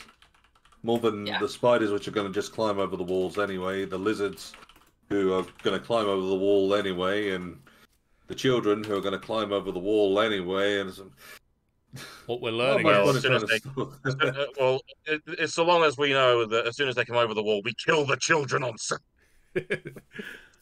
okay, so the notes Spiders, they can run rampant, but the children. the the notes for Sanctuary Springs. Uh, buildings are made of sandstone and typically only a single story tall. Wide thoroughfares covered with a light white cloth allow for shade in the heat. In the center of town is a clock tower that stands a few stories taller than the surrounding buildings and allows guards to watch people approaching the town. Near the clock tower is a small building not too different, not too different from the rest of the buildings around the town, but inside stairs lead downwards into a communal bazaar, which is cooled by vents around the edges of the buildings, uh, which pulls cooling air in and feeds it through cooling, misting waters. Heading into the bazaar is free, but people need to sacrifice their weapons at the door. The weapons will be returned upon leaving the bazaar. To help yeah. to help alleviate weather and various beasties, a wall has started construction around the town. Sounds good. Yeah. Anything else for Sanctuary Springs? Um Do any people live on the water? We placed it down that the water is so protected that they won't allow anything to happen to it. Okay. So, I mean, the only other thing which is once again sort of placed on that regard is what happens if a person was to break the rules or was to do anything which would compromise the safety or the water? Two things which we place down as very important for the sake of this sec- this sanctuary. Because I don't think they would have the jail. I reckon it would be a case of almost we are going to take you out to the desert. We are going to leave you with nothing. Yeah, it- You've disrespected our rules. You are to be effectively you are going to be abandoned. they've they've got a very Mhm. simple way of punishing you. It's go that way. You don't have anything. Bye. Basically, you- if your you- only chance of living you- is go that way. And if we see you again, something worse will happen. Worse to be determined later, but something worse will happen if you come back. Yeah, very much. I Yeah. think their their penal system is get the fuck out and Yeah. stay the fuck out. Yeah, It's a simple penal system, but it it's either them that or we're going to solve this a lot quicker. And you don't like quicker. Well, it's it, it's either I, I, start. I, I would say that they wouldn't they wouldn't get it done quicker. They, I think they would if if they if someone was to be chucked out and they came back, it would be something long and drawn out to As- oh, actually, that's a good point. to be a a demonstration. a demonstration to anyone who might think, "Oh, yeah, I'll do that later on. No, Strapped I'm to the doing that. outside of the wall so that Yeah. the sand dunes bury you slowly. very, Basically, you very have been given that your- sort of thing. Oh, that would be it. Yeah, you strap them to what is made of the wall so far. But the sand dunes will either bury you alive or will rip your skin off thanks to the way that the winds and the sands work. Mm-hmm. And that's if you're lucky enough that the animals don't happen You to come by and aren't feeling a bit nibbly. they do like a nibble It's, sometimes. it's been so much more convenient since we built this segment of the wall. We used to just have to tie Surprise- people yeah. up outside, but now we've got this to tie people to. I would love it if it was the case that it wasn't the original design of the wall, but it became handy considering that it, you could easily tie someone to that in comparison to trying to drive a, st- a giant stake into the ground for them to do. Yeah, it's just effort and work. It's just easier just to tie them to the wall, or stake them to the wall, glue them to the wall. Affix them in However some we're gonna method do to it. the wall. And the way I'm seeing is effectively almost moving some of the stones, lifting them up, and almost slamming their hands down into it. The amount of force they're pinning them permanently into the wall. You have a chance to effectively get away from it. You are left alone. If you escape from the wall, no one's going to chase you down or anything like that. And if you come back into the building, we're just going to put you back in again. Yeah. You are part of the You're wall fucking fucking- now. Look in the wall. If if you leave the wall and come back again, there you go. It's a wall. It's still here. Exactly. Uh, It's okay. The wall is still waiting for you. Don't worry. it God, you'd, you'd love for there to be like a bit of comical history on that side of things. Though. Yeah, after the first person who was building the wall accidentally got his hand stuck, we thought that's a wonderful idea. okay. we should um, use that more often. And that's why there's a statue over there of a man with no hands. dude, dude, that's just the that's just the statue that we haven't finished yet. Don't tell him that. All right. Trying to build up a lore here. That's, that's the that's the That's Venus de Joe. Milo. What's the Venus de Milo? I don't know. Why are you guys talking about penises? Not not penises, the Venuses. V, the, pe- what, what, what, what, what, what's that? Right. What's a It's Venus? a Venus which is very veiny. It's a, it's, oh, it's a penis. Okay, let us let us move. I feel I feel John's trying to segue atop the penis. Let us move our focus. Away from this stuff. Let us move our focus along the uh, along the main trade road and back up to Lawfell, the center of the civilization. Okay. Come for the world building, stay for the penis jokes. Yay. You know exactly why you're here. Come and enjoy it all. So, Final Lawfell, boss fight, the home of penis jokes. we are not that. We Sponsored by Penis Jokes? New, no. new. Ta- we know who we're sponsored by, Sean. We know who. We're sponsored by Martin Madrazo and his cheesy bastards. Ah, yeah. we we we are definitely there are much better places to go for penis jokes. Not with that attitude, John. Anyway, Lawfell. Lawfell. Lawfell is the center of of the civilized races, the the Casimir alliance, the the the whatever else we call it. The the the everyone has a place U- here. The Ujima Society and the what you call it brigade. Um, yeah, you know all all these things. All the cool people hang out there. all the cool people hang out there. There's, I think that we need like, there are sort of in my in my mind's eye of this big fantasy town. One, it's a metropolis. It's like it, it's big. Mhm. Yeah. I think there need to be two sort of large standout focal points. One of which is the royal castle. Yeah. Right. The other of which is insert name of arena here. okay. Can I add in a third one? Yes. I believe that when it comes down to once again, for the sake that it is the pinnacle point of two of the cultures which we've created here, that there should be like almost a statuesque tree or two trees in the middle which are sort of binding around each other.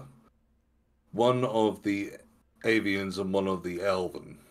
Effectively, they couldn't decide which tree was going to be there, and the way that they the uh, the the Lorfelians basically came up with was okay, fine. You both We will have it. both. Yeah, exactly. You both get the same area, the same spot, and then in trying to sort of take over and make it theirs look better, they both basically wound each other's trees together, which actually makes it look more like it was designed for unity when it was actually a mistake.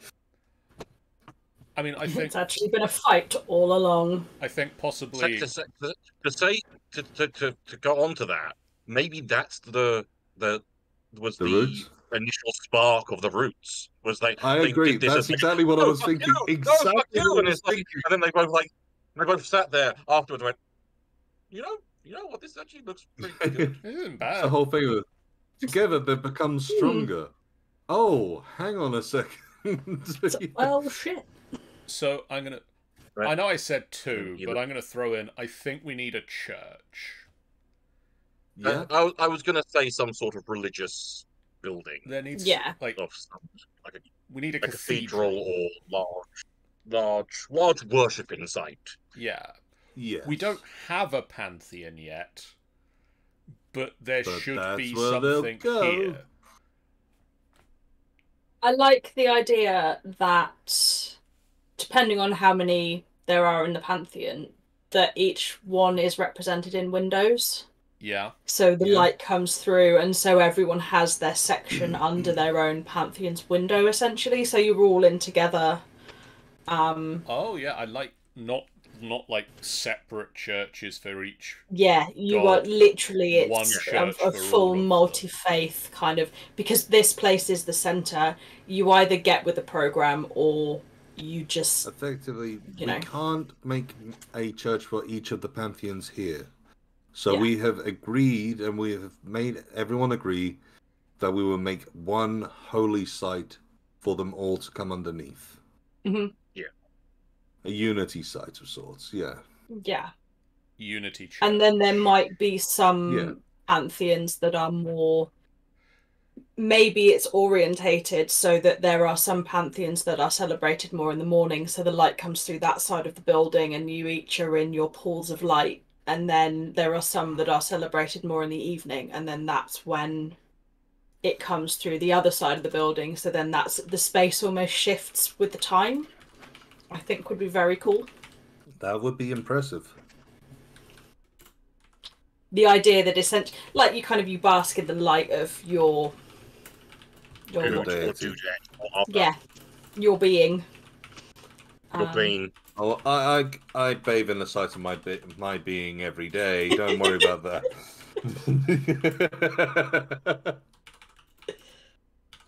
Come, admire me.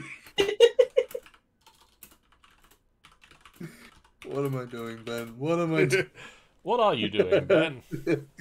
I don't know. I think I've started trying to start up my own pantheon entirely of me. the pantheon of Ben.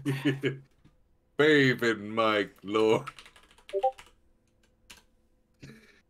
God, if ever there was a phrase I don't think I'd be using anytime soon. I've just, I've just chucked another doodle of the kind of bazaar in the desert. My my Uh-oh. thoughts as a side profile, just in case that's useful to you In, in the you what where? in the streaming um, chat. Yeah. So it's kind of side profile looking through the sand. You can see the tall, narrow bit on the top. John, I don't know if you want to show stream. I'll pop Yep, it onto the would be- stream. There it is.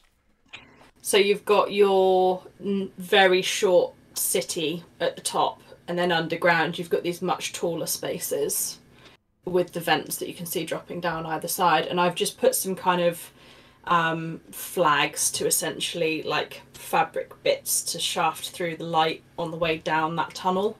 So that central section will be completely open to let the air vent up through. Um, and I imagine, much like most societies, the more um, money you have, the higher in the tower you live. Because you're still underground, you still get a bit of sunlight. You'd get a really good draft through, perhaps. Um, maybe the ones that are the expensive ones are the ones that actually have the air vents. Yeah. Um, I also like but the yeah, that tower. that was my kind of my kind of thinking. Um, and Okay, I've got the good, kind of wall sat around the side um, that you can see the back half of. But yeah, apparently I do the buildings. It- It's almost as if we brought you onto this particular stream with a purpose. if I could doodle as quickly on digital art, that would be better because then I could just share it with the stream. But I can't. My brain's just not having the digital fair, stuff. even if it's a case of getting bits and ideas for this one and throwing them in for the next time, it's a wonderful way to get things started, to get things going. Yeah, And if nothing else, we get to show off you getting the spark of inspiration from my glory of my beautiful pantheon. Oh, sorry. Then put your pantheon away.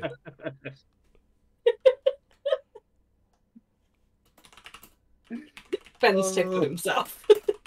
Ben, stop tickling yourself on stream. oh god, this is go- I can Stop just see this. yourself. I would never do such a thing. Um, okay, so I've just put down. I'm not, not going to mention what I tickled what, what tickled me the other day when we were playing Destiny. I've yeah, Ben. actually. I've put down Unity Cathedral, hmm a place of worship for all members of the pantheon, with a stained glass window for each of the gods, for each god or goddess, placed so that each member of the pantheon is shared with equal time in the light. Makes sense. Um, people, what can name things? What are we naming the arena? So, for the for the sake of people who may not have been here last time, we have an arena that is in Lawfell. It is a grand adaptive arena that can reform its playing field based on the display being put on, whether that be a battle of the bards or races, uh, races that constantly shift the environment of the races, or gladiator fights. Hmm. What Mm, what what is that place called? the I'm, I'm, go- I'm I'm I'm getting up a I'm getting up a generator. The Iron Wing Arena, Ooh. the Hallowed Stadium. I don't know anyone who'd want this one. The Dragon Tooth Arena. Nah. Uh, no, I'm going to possibly go for that. The Hemorrhage Coliseum. Jesus. Nope. That that ain't it. Um. Uh, Ironbound Coliseum. I The Chaos Coliseum. I quite like the Iron Hmm? Wing Coliseum. Or the Iron Wing Arena. I must say, Iron the Wing Iron Arena Wing was does sound good. Uh, some some of these names really don't work. I, quite- I quite like the Iron Wing one though. A grand adaptive arena called Iron Wing Arena that can reform its playing field based on the display being put on yada yada yada. Oh, I do kind of actually like an idea of that one being it being Iron Wing as a, a almost a combination between the ones who created it. Effectively, it was mainly a part of the avian design, but it was thrown and made better by the the artificers of the area. So Yeah. thus they refer to it as the Iron Wing to sort of pull the two Together. together. Yeah, I like that Would idea. it be something like Iron Wing's Fortitude? Or something so it's not got arena written in it. Hmm. So that then in the world people would go, Well what's that? Because as soon Iron as you put Wing's arena on Glory? the end. We battle at Iron Iron Wing's Wing. glory. Iron Wings Valor, Iron Wings Resolve. I think Resolve, Resolve Iron. Wings. Oh. I like Resolve. I like Resolve. Resolve sounds has Resolve has a nice sound to it. I've got to say, the Iron Wings Resolve, which kind of feels like it goes in for all of them as well. What does the castle look like? A Big old fucking castle. I was thinking on this side of things. I would, I placed it in my head like rings, effectively. Okay. So every member of the unity, every member of the the the groups which have come together has placed in and effectively end up with these different architectural rings, slowly moving their way in. Very much what you would expect when it comes down to seeing a fortitude anyway. With the main building hidden in between everything else, and you have to work your way into it. But making into a design which can be seen from everywhere risen up enough that you can see these rings working their way to the the grand structure in the middle which sort of pulls inspiration from each of the areas together but not necessarily holding on to anyone in particular Are we almost thinking that the rings, as you, as you approach the castle, the rings are also like the embassies uh, of, of the particular races? So if you've got an issue, you go to that's your not a bad ring. idea actually i hadn't even thought of it that way but that's a damn good idea to add on top of it I'm I'm also curious to see what's happened in the. yeah i know i was just seeing that side of things there. Just going to throw We this took- one into the stream as well because I can do this. Uh, here is here is Law's uh, Oh wow! design of the the roots brooch, which also features a spinning disc that you can look through to see if the other person is a member of the the secret organization. And and also it's stolen from Shan, so yeah. you know, Uh, no, no, of course not. law, law giving credit, but also Uh, no, no, expanding no. upon the idea. That, Collaboration. that is beautiful. Is it bad that I look at that and go, yeah, that would get stuck in my hair?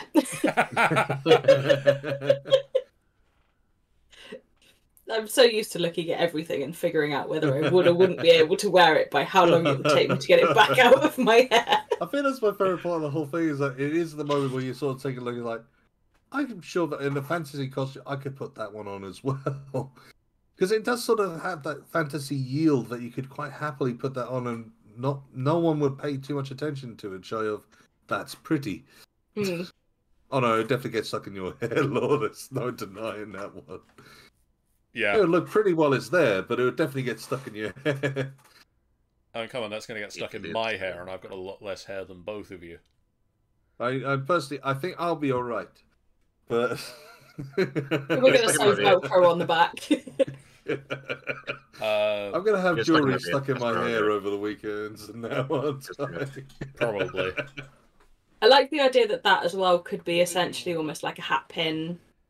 Um, there's so many, like, It something is that could be a brooch, could be a it's such- hairpiece, hat You could pin. place that anywhere. Could get stuck in your beards too, guys. Not the beard. No. Go save the beard. Have we not learnt anything from Gimli? Not the beard. Never Please. the beard.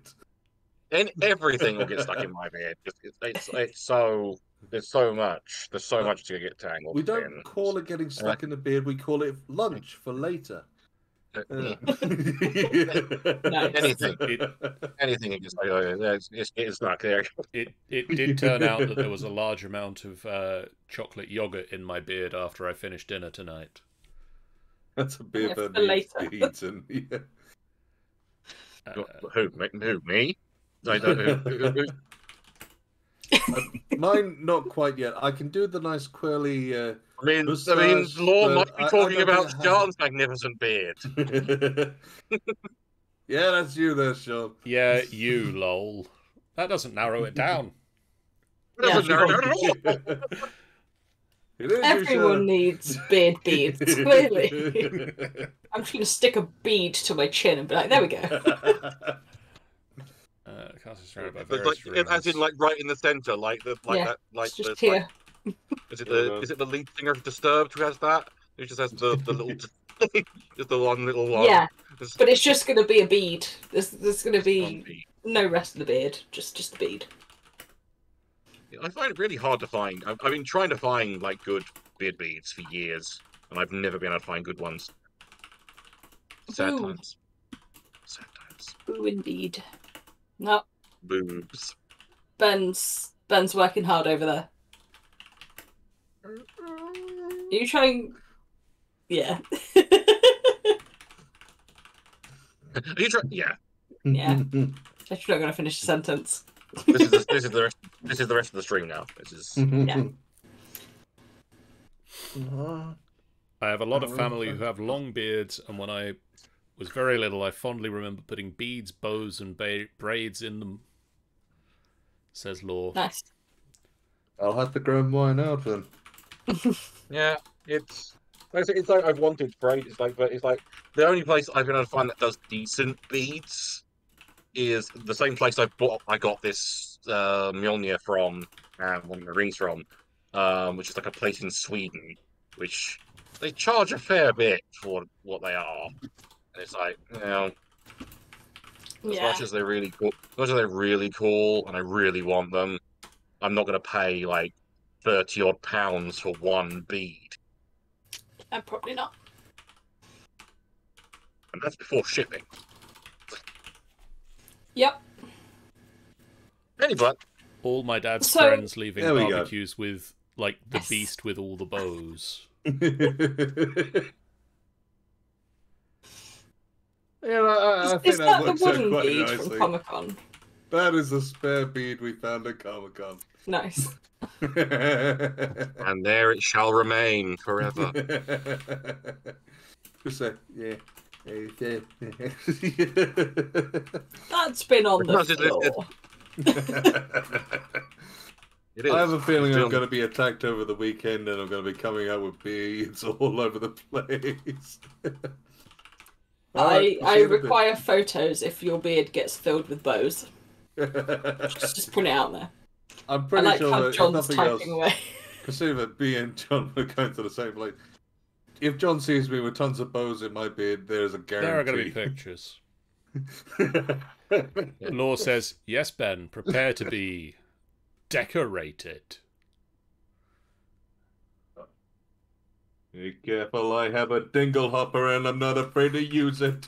Is, is it is it weird that I, I read that in the voice of Arnold Schwarzenegger? Is, No, it's perfect.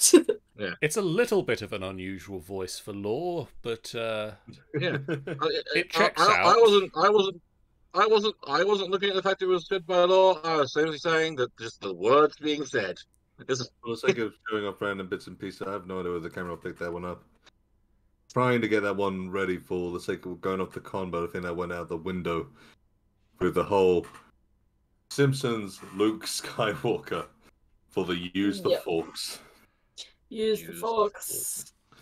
And here's the thing: it's amazing what you can do with a cutlery set. Yeah. if you're me and mad.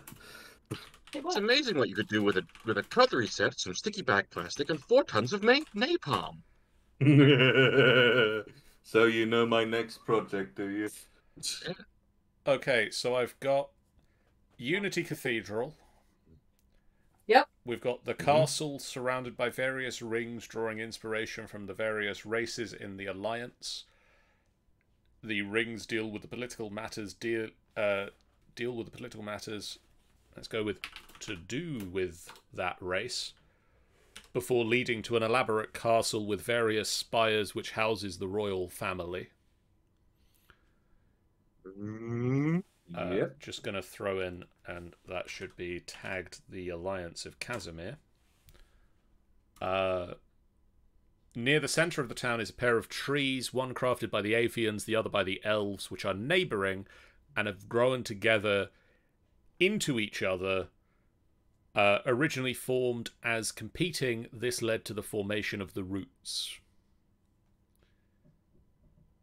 Yeah, Uh, That's Which cool. I'm so glad that we've actually now come across the point of literally from creating the roots to this is where they started.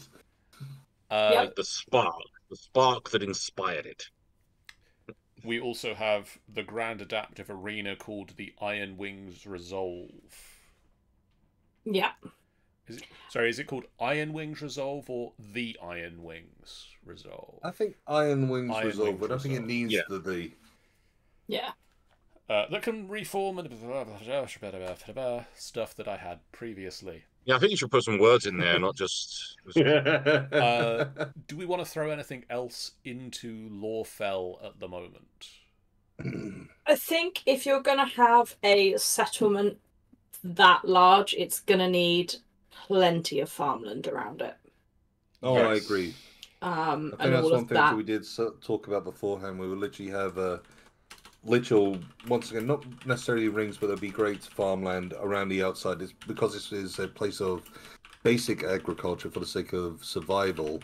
Everything else which can be dragged in gets dragged in, but there would definitely be sprawling farmland on the outside because it's got perfect Yeah. greenland for it. Which would also lend to the smaller villages and such forth, which would sort of Yeah. stretch out into them. As a as a potential thing to rip off from Waterdeep, um, do we want to put in? Uh, let me find the name of it before I start talking about it. Yawning portal. No. uh, In the Underdark. Yeah.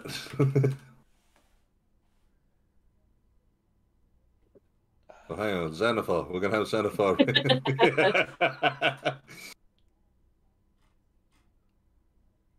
uh, Sorry about that for a moment ago. I realized me rubbing my face and beard was not exactly perfect for the stream, but did realize I kind of need to do that.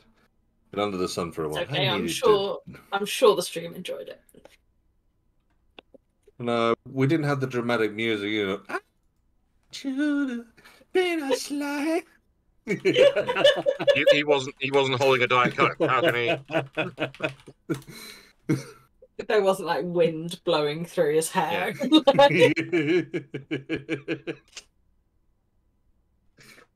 Whilst- John still won't buy my artificial wind. I don't know why. Whilst John's searching for what John is searching for, with these Yeah. rings Uh-huh. of town, we could do with some walkways through that are the kind of um, where everything mixes. So, like you've got that say that central bazaar, you could Oh, have some main like thoroughfares through to the center. I don't know how many you Oh, want agree. dotted There should around, be a- but they could be dotted with loads of tiny little carts selling different things, and it's where everyone comes to sort of do a, a really good bulk of trading. Well, this is, yeah, I agree with you entirely. This place should be a lot more of an open area, especially in comparison to our fishing town. Mm. This one is definitely not a place of industry. This is almost a place of, it's at least not presenting itself as a place of industry. It's trying to present itself as a place where you can come together. It is that unity. So it wants the outside places to be open and large, to almost welcoming, like open arms of sorts. There'll still be the back alleys and all that sort of things, but they're a lot more sparse in comparison.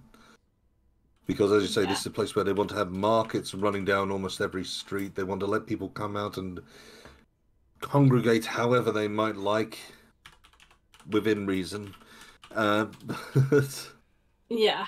it's one of those things where it is literally designed for the people. It is designed for all people to feel welcome there. It is meant to be almost like a, a shining beacon example of what it should look like, which does offer such a wonderful concept of the the seedy underbellies of one the government there who are treating their workers terribly to make Mhm. sure it looks brilliant in which case the people could be undertrodden but not allowed to tell you and as well as that the incredibly seedy seedy underbelly of it all which is we want the upstairs to look nice that makes the marks so much easier to get at because pleasant places you put your guard down Yeah.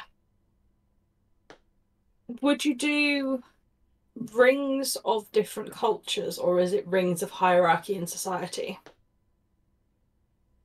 Now, that is one of the, bits which sort of gets me because when it comes down to the, obviously this being an element of unity of sorts, I kind of have wanted placed if I was going to have it that the rings are almost offset as well, so it's never a case of one seems to be higher up than another. That they're instead tilted.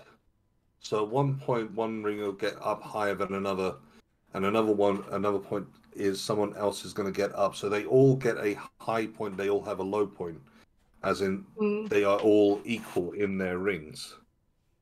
That's where I'd kind of wondered that if you had this like central cathedral um, and the noble household sitting in the middle, if you had then it would go outwards. If you had each road and then each like segment is its own culture, so then the segments blend together in those roads in point. between Yeah, yeah. and then you've got the kind of the higher bit of the higher nobles and all of the because they get to survey over everything going down out through to the farmers that make Ah. everything run That makes a lot of sense when Um, it comes down to it. As I say, the only thing which I was sort of debating on was, with effectively, are we would we try and King Arthur the rings, or do you make them a prominent feature point? In which case, they have to sort of be shown and sort of work up levels. Because I've got one image in my head of almost like a rose design where where the rings come up and down and almost creates like a flourish pattern but Mm. it it's not one which I can see as being as practical. Whereas the rings make sense because it is a bit like the rings of a keep. You would have Yeah. to work your way through them. It could be that you know, like the um, like Tudor rose, where you've got the kind of the four petals, Yeah. and then you've got the next ones offset the other way. It could almost step down like keeps do, but offset with sort of some sort of petal rotation to it, maybe. Well, the other thing was more along the lines of thinking about whether there is an element of culturalness coming into it as well, where it, we've got many different races, and one thing which never really sort of looked into is different cultures and how they would perceive things. Like, for instance, there are some which would might think that being the highest point is having the, the regal nature, whereas others might be on the lines of being the first which you see. So, in which case, if you're the first which you receive, then that is the most stunning one of them all. In which case, that is the prominent feature. We also have And- like between the avians who would be up high is better because that is who we are. You also have the dwarves who are Prefer to be lower, "Why- yeah. Why the fuck are you up there? yeah. Come down here. Yeah. In which case, some bits could be split differently to where some more like, I don't know, as a more standard human type race would be your standard. You get a whole slope, you have the top, you have the bottom, you have the farmland, you have the high up nobles. It could be that the avians and the dwarves between them have two segments. The avians get the top chunk and the dwarves have underneath it maybe. Uh, Um, the other th- one thing the thing i was trying to find the name of was Amendsfarm uh, okay. which is basically in waterdeep it is a farm that they sentence the criminals to Ah, it's Mm, it's a, it's a farm for people who are serving hard labor sentences not necessarily serving uh you know Murder. mass murder sentences because you don't want that person Yeah. dealing with your food no, no, no, no. but things like oh well you need to go and work hard labor for a few years you're gonna be useful So what- go do some farm yeah. What? So what have you been sent here for? Mass poisoning. um I don't think we want you here. Mind you, that does open up a wonderful bit of putting the uh, the ne'er do well to use. Yeah. So it might not necessarily be the farmland, or the, depending on what on earth they've been called in for, their hard labor could be justified around exactly what they're doing. i mean the so, other for instance, the the other Mhm. option for for hard labor you know we have discussed a place where the labor is not great the the working conditions are Yeah. not good it's that other town that? we started the stream with you Well, are, that's the thing, you when it comes down to sentenced it- to labor in Vectis Haven It is one of those bits where, amazingly, I was end up thinking of that as we were talking and des- designing it through. That this sounds a lot like the beginning of Les Miserables. the whole look down section is like, yeah, actually, that would be the Mhm. perfect place to send those kind of criminals. It's like, no, Yeah. no, you're going to serve your sentence there. you're going to be it- useful It could Exactly. be your your different layers, and it could be that yeah, the the harder of a criminal you are, the worse Exactly. jobs you get in that place. But actually, So- realistically, if you stole a loaf of bread, You might just go and see Jonathan.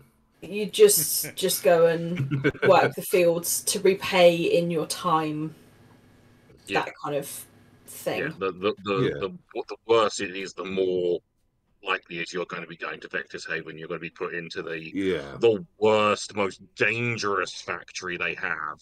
At some point, you're clearing out the funnels that Yeah. just are still bellowing with smoke, and you're just in there trying to scrape the crap off of them. Like, Yeah, you you you you you you you you might be able to serve your sentence and get through it, all, or but you you might lose an arm, or you know, yeah, And They that's the thing, going around with that location for the sake of, yeah, we can only shut this furnace off for so much time. You have that time to clean it. If you don't clean it in time, turn well. back on. if you aren't out, good luck. yeah. um Yeah, another side to things of of uh, some of the stuff that was being discussed while I looked up those notes and and made some of these notes. Mhm. I don't think Lawfell needs the seediness. Mm. No. I think that The fact that it it's one of those things where Lawfell doesn't need seediness where there would be an element of seediness there. The only way I could see seediness being there is it being a a hidden seeding nature there. I I think Because pretty much the whole point of that Yeah. Oh yeah? we've we've got a lot of the places that are the the the seedy nasty fantasy I'm not talking- happens. I'm not talking that kind of seedy. I'm talking more like the element which you kind of expect to see in the middle of a city is more the high end seedy. We're not here to try and brutishly beat up or anything like that. It's more psychological play. The Yeah, high end, in, be- the intelligence seedier. Like pawn men and Yeah. stuff like that. yeah, like, I, suppo- so I suppose that that you sort could- of In a, in a, the in a yeah. city, in a city, you'll never not see mm-hmm. this. It's, it's impossible. There'll be Yeah. something there along the lines. There- There'd be drifters, there'd be con artists, there'd be people trying to on old ladies out of all their money, I all that kind of stuff. I think at the very not least like with mugging or anything like that. with how with how low Vectis Haven is, you know, we we need somewhere in the world that is equally that Oh god, yeah, Like, and I think the Another element- to it. Otherwise, the entire the entirety of the place is just really feckin' shitty. The other side is when it comes down to, I can see as well in places like Vectis Haven, that you also get the other element. It's the yin yang side of things. There's always the good, there's always the bad. Even in Vectis Haven, I can imagine there being those uh, particular practitioners of one of the pantheon, which we haven't decided, who are almost going to be like our version of plague doctors, Hmm. going around and trying to There'd- free there'd your, we're going to save your soul, as it were. Yeah, there'd be people trying to help the Hubble themselves. At the same time, I, I see them like deaf clerics, but nonetheless, when it comes down to it, is we're here to save your soul. We might not be able to save your body, but Or at the your very soul least, at least. uh, at, at, the very least, you sort of need Lawfell, or possibly other places that are closest to Vectis Haven, but there at least needs to be a certain element of the people that live in Vectis Haven that are. We just need to make a few more payments and we can move to exactly. Lawfell or we, can, we can we can move from Vectis Haven to Schittsburg. Oh, glory! It is that whole point that Lawfell should absolutely be the pinnacle point, the place which people want to go to. But it is the Yeah. whole element that it doesn't mean that you take away all, all these the seedy underbelly because there is the seedy underbelly It's always going to be there. It's just I nowhere near as prominent. I feel like Lawfell becomes trying to climb the social ladder. And so it might be just a little bit backstabby here and there. Yeah. And like it's all very subtle because you can't be seen to be backstabbing because that will lower your social Well, graces. the- I think and I it's, so it's that that- much more like it's just those little bits. It's a little bit gossipy. It's a little bit um it's it's a Ju- little bit just because everyone's trying you can see where you could get to and everyone's like Oh, it's, you've got into the good city now how do you get higher in the good city It- kind of that sort of it's a little Oh, bit that- Barsing say. it Mm. is a little bossing saying. Like, also it's- a There no war in there. Barsing say. Oh, there's also a little bit of Days of the Dead. For the sake of there'd be people out there who you would hire for the sake of we need this, we need that, and it's the seedy things which no higher up can possibly be seen to do. So you hire the seedy underbelly who believe that they're working their way in. They then get rejected at the moment when they start asking too much. They then get sent off to their Okay. you could end up with a group of the rejected, the ones who were rejected from Lawfell and are now making their plans where we're currently stuck. They just need to work their way back out, and then God only knows what will happen then. So we've discussed Vectis Haven, we've discussed a little bit Staros, we've discussed Lawfell Sanctuary and Sunspire. Mm-hmm. hmm Now, Craven Wing is going to be very similar to Sunspire Okay. because it's more or more or less the same race. Right. It- Yeah, you don't worry. We we didn't really build on Staros. We didn't. We we discussed it a little. We discussed uh, the fact that it's going to have. It, it's going to be more tidal than Vectis Haven. That they are going to potentially have a a sort of sandbar that people run aground on, and then they drag the ships into the structure. Basically, when it came down to the main reason we haven't really touched them is that we already had a, a fair idea of what Staros was going to look Yeah. like in an, in an architectural kind of look, and we're obviously this stream is trying to decide which areas would have what kind of uh, architectural design. For, former pirates law, Mm, former pirates, and Oh. potentially other sailors. let's just be Oh. where they are. Former pirates and current pirates as well. Um, so, left on the map of places to discuss, I think the two forts we can very much I think they're pretty much going to be bug standard they're, fort, they're really. forts. Like What's Got lots of the dark to the right hand side? Corrupted badlands. Okay. Uh, Basically, it's the Badlands which are slowly creeping inland and seemingly aiming for the Temple of Gargaxian. It, yeah, Which making is a fine. It's fine. Everything's Everything's fine. fine. uh, again, we don't have a name for those beyond what is currently on my list as corrupted badlands to the east.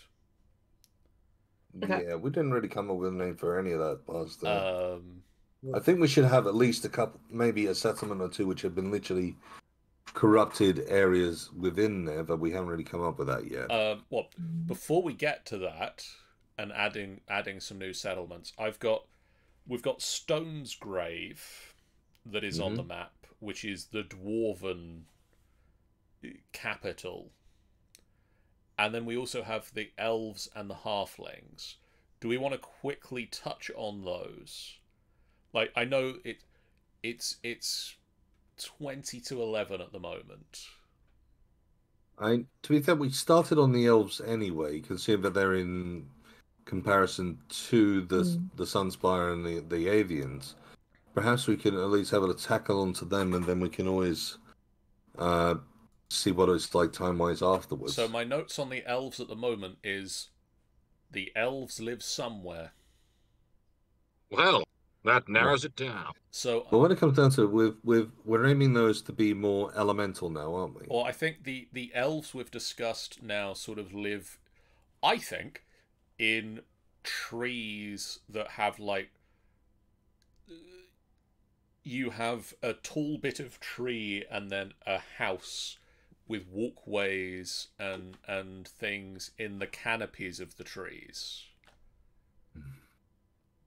I must say, for a moment there, I was thinking of going a little bit more complex with it. But at the same time, it makes their inert magic far too powerful. Because uh, my my idea, which I sort of came in, was effectively the way that they, they build, in the way that their magic works. It almost the aim is never to affect the forest or the the land which they're in. And so instead, they build into the trees themselves, but effectively having them a magic which allows them to shrink into the size of the building. But the only thing is, giving that ability to shrink and to expand is a bit. Yeah, that's that's problematic for gameplay purposes. Exactly. My So, thought is yeah. Kind of Avatar World Tree, how they live inside. So actually, Oh, when you not a bad look at the idea, forest, actually. you almost don't see that they're there. And that is sort of until you all start looking pulled in with one tree is the tree. and then you sort of start to see a few like at night some of the trees have slit windows in them and you notice the glow um Yeah. and you suddenly might Ooh. realize that actually some of the vines are actually walkways but they're built atop these really chunky vines oh, I Um, like that. That when it comes down, you can't tell that they're walkways until someone walks over them. yeah I like that. So it's kind of got that avatar sort of And so the avians all living with the nature rather than trying to change nature for what you need it. Yeah. the I- I avians gonna live say that, like, amongst the nothing- trees the elves live literally in the trees Yeah. I, I was going to say in like in to build on the whole, you know, not trying to shape it, 'cause, like nothing is like carved out. It's all grown around. Yeah. It's all Yeah. natural curve and like you know, it's a hollow that's been grown into the tree that they live in.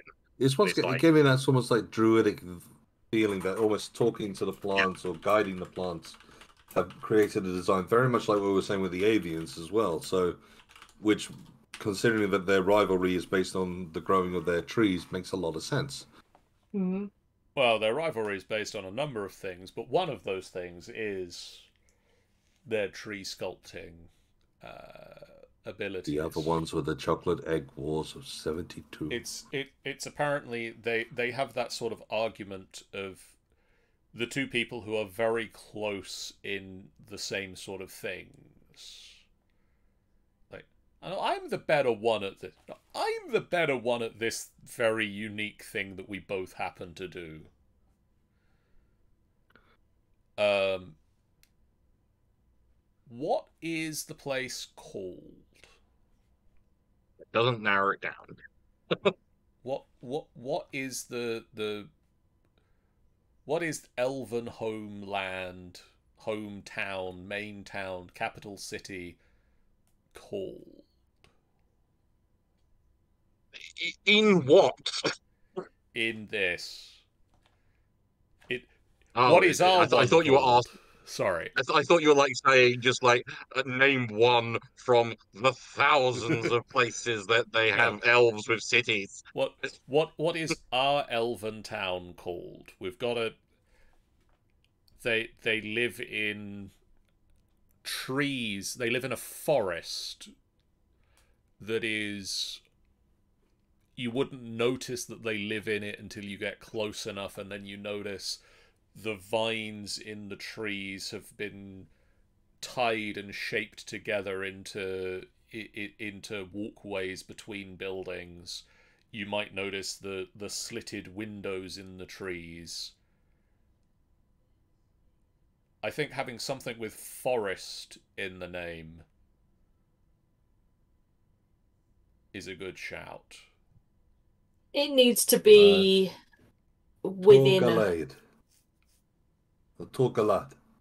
Or Torgalad. torgalad So T A U R hyphen G A L A D. Torgala. Which is forest tree in Sylvian. yeah.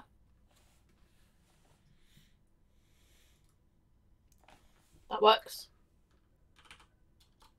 I thought that we're throwing a little twist on it with the E. but talk Torgalade, actually, I think the glide makes it sound a bit better, actually. But for the sake of Elvish, let's throw in a little hint towards a great creator when it comes down to the elves. Let's throw it towards Tolkien. pendragon Yeah. nomad says did someone say chocolate oh, no. No, no, um I don't not at all. any other any other things on the elves or torgalad in general Um, if the elves are one with nature, is there some sense of trickery to the surrounding forest to those who don't know it? I'm kind of thinking along the lines of Hobbit in the forest and them sort of getting a little bit turned around. Are there some sort of I mean, if they are mainly Plant druidic in nature, then sort of talking to the plants and maybe manipulating them would make some sense. Are they? I think we- Is it kind of the opposite of you get lost in the forest? It's more a you More they adapt the forest around you. you don't you- get you- lost in the forest. It almost tries to just keep turning you out Yeah, it, as it you're trying to get into the center. It's of there. like, nope, off you go. Well, no. What if it, what what if it's more like instead of that, you get through it really quickly as long as you're not going there to chop it down. Like It's not a bad it- idea I- at all. If you, I feel I feel they would be uh, people that would that they they would have scouts and things throughout the forest to try and find anyone trying to get in, and would yes, would quickly first watch you, see what you're doing, and then if it's of if it's obvious you're not trying, well, if, if it's if it's uncertain whether you're trying to if whether you've got malicious purposes or not, they would then con- like make contact with you, and, yeah, you know, appear before you and be like, "Fuck you doing? Fuck you doing here? Fuck." if it if it's clear you're just traveling through the forest, you suddenly find yourself suddenly through the forest that looks like it was going to take some time to get through. The way suddenly Really? clears itself. Like shockingly easily. yeah. And if you're known, the forest just lets you through, essentially. yeah, Yeah, if you're to a the friend- center. if you're like, Yeah. like yeah, if you're a friend, you're like a friend of the city, a friend of the town. Yeah, you're you're, you're straight there. You're Yeah. honestly, yeah. If you speak French, you may enter. Uh, I, I kind of like the idea that it's not necessarily that the forest is malicious unless you attack it. Um, but it is that do it. like the idea of sort of adapting almost like treants and ents, Mm, but it's more a case of the forest which the elves live in, or their part of that forest is alive, and it is known and protects itself, and maybe Well, I think that, that was something we've already discussed. Is that the elves are almost plant people. Oh, and yeah, as yeah, they yeah. grow old, and as they grow older, they eventually become the tree. and it also case, it also yeah. plays into the the tree revenant things that we've discussed yeah. with having yeah, like do they kind of face of Boet and Doctor Parrot. Who? parasitic tree elf Mm. um zombie things that have like tree that suddenly you're you're walking through a dead desiccated swampy bog forest and suddenly the tree that's like gnarled and bent over cracks and splits open and a elven figure is in it Mm. and like the tree suddenly starts attacking you like a fish. Yeah. Yeah, that could, I think that helps differentiate the elves from the avians as well. yeah, I'd agree with you there. Like the elves are much more one with nature, are literally part of the forest essentially. Well, the the avians dwell in a forest and are very in tune with it, but not especially also adds on, especially for the sake of the avians have been adapting and twisting and making their own nature, as it were. Mm.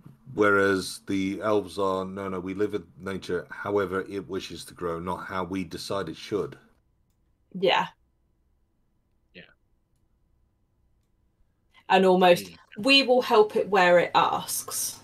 Yes. Yeah. um, as opposed to we And- want to And make it better in because our will intends it. and in return, the forest will provide for us as well. Like in, if we if we desperately need new housing, it will try to grow to accommodate us. Yeah, it, To it assist, like, like, essentially like, like, follows out some of it, its like, existing trees. Yeah, it's it's the whole the elves are in a fully like symbiotic relationship with the forest. Yes. Yeah, You know, they provide for the forest, the forest provides for them. Yeah. yeah. They can all bathe in that. Never mind. Uh, Uh, I also have. So we've got one. Actually, let's quickly look at the map. Is i- is this Torgalad? Hang on, I'm not looking. So this is the Where? this is the area of forest here. I feel I feel it wouldn't be that close to Vectis Haven. hmm no. Are we gonna I think go it's got to be. here? I obviously don't. Can know. it be? Can it be a section of that big forest? It could be a I have a section feeling of it this should large be- forest. I think it would be effectively in the middle of that that the densest part of the largest forest would be where it would Yeah. be. Uh, Yeah. I need to f- remember how to put the label in for replace. Uh, you just pull out the hammer and nail and just pin it straight on. I've got a tree. Uh, we have we have tree. I know, I'd Uh, say uh, yeah, go for that sort of different coloured tree as well, sort of just to really highlight where they Uh, are. City, capital, city, city. That's what I want. City, capital, capital, city, city, capital, capital, city, city, capital, capital. Sorry. We've lost Sian. Also, the uh, the city goes underneath the trees. ah, Oh, okay. That's a problem. That's not helpful at all. can you get a picture of a tree which could potentially sit on top of the others? Uh, I'm seeing this one is them living in a giant tree and having a symbiotic relationship effectively. If we um put that one on after stream, we can play around with these settings. That's true. oh, wait. I found the settings. Ah, I found the settings, guys. Don't worry. I've placed the city of Torgalad, Yay. and I'm gonna add the add the map note, which is a it's a it's a city, and there's the label. It's Tor So I had a uh Gal- Gal- Galade. I can't remember what the game was called. I, I hollowed out a massive tree and I built all sorts of rooms and things within it. And there were just staircases that ran, and then one went kind of across diagonally through the center, and then they continued up round the edges.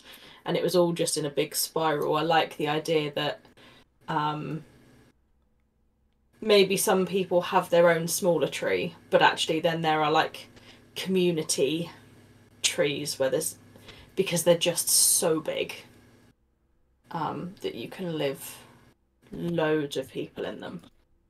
Yeah. Um, but actually, they're not like really. They're just sleeping space and a little bit of trading space. Yeah. Uh, because at the rest of the time they're out outside doing stuff. Doing the Yeah. healthy business. Yeah. There is there is the sign for Torgalad. Cool. I have saved the map. That was what that ping sound was. Um, ah. I've got a a map note or a, a note in Obsidian that we need somewhere where the halflings live. Okay. Uh, I believe we've discussed that it's cozy. It's it's sort of farmlandy. It's somewhere they don't tend to leave. I would be placing them out in the greens a little bit more then. I'm almost inclined if it's sort of cozy that maybe it would be up slightly more towards the foot of the mountains. I would agree with you. So it's got a, maybe a little ha- bit of chill in the air, so they like that kind of cozy, making their houses yeah. warm.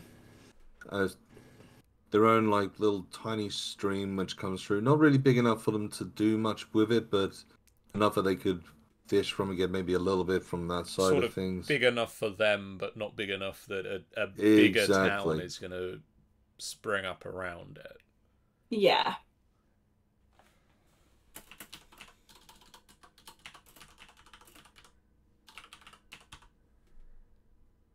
Oh, and Tanny has a name. It's Tanny. Oh. Okay, Ooh, what's the halfling name for the place. halflings place? That's Honeywell. Cute. That is a cute name.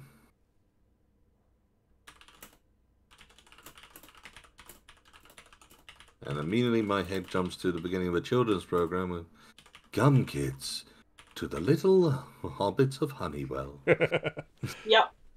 The halflings of Honeywell. A small stream runs past the town. Not What are they? What are the hobbits of Honeywell doing today?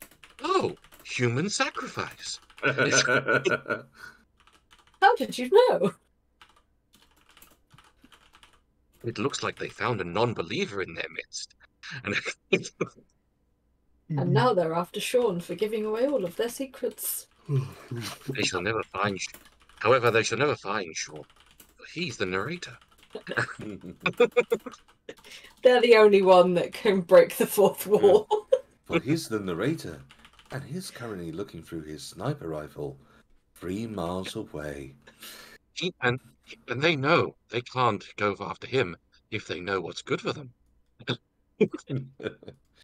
They've already learned that one from Bingo, who is currently feet still sticking out of the stream. Everyone knows not to go near Bingo. Everyone knows not to go near Bingo. That's why they won't bury him. So the They know. the halfling entry now reads: "Stick to their lovely homes, which are located in Honeywell. Some rare halflings go on adventures." You need an inn after located. There you go. Yeah, it was just Oh god, I would love to do a pull a massive reverse on this one and just sort of say though, with a warning though, if they do, there is a wizard who is quite adamant to put them back.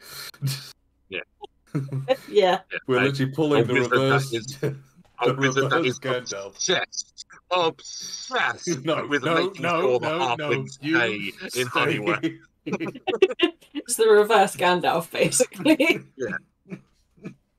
He, he, he, it's like his life depends on making sure. I would love to put a whole there. story on that one, lady. Just to say there is a wizard who is dedicated, might even send adventurers to go and reclaim he- the harbor. does, harbor. does he also like put put on them back in firework Honeywell. shows at Honeywell? Yeah. Like this is the reason to he keep wants them them there. Only way to keep them entertained to stay there. They need a little bit of excitement, but too much is going to kill them. So they have to stay in Honeywell. Are they like those goats that when you startle them, they just freeze and tip over? Uh, oh, please put in the reverse Gandalf, please.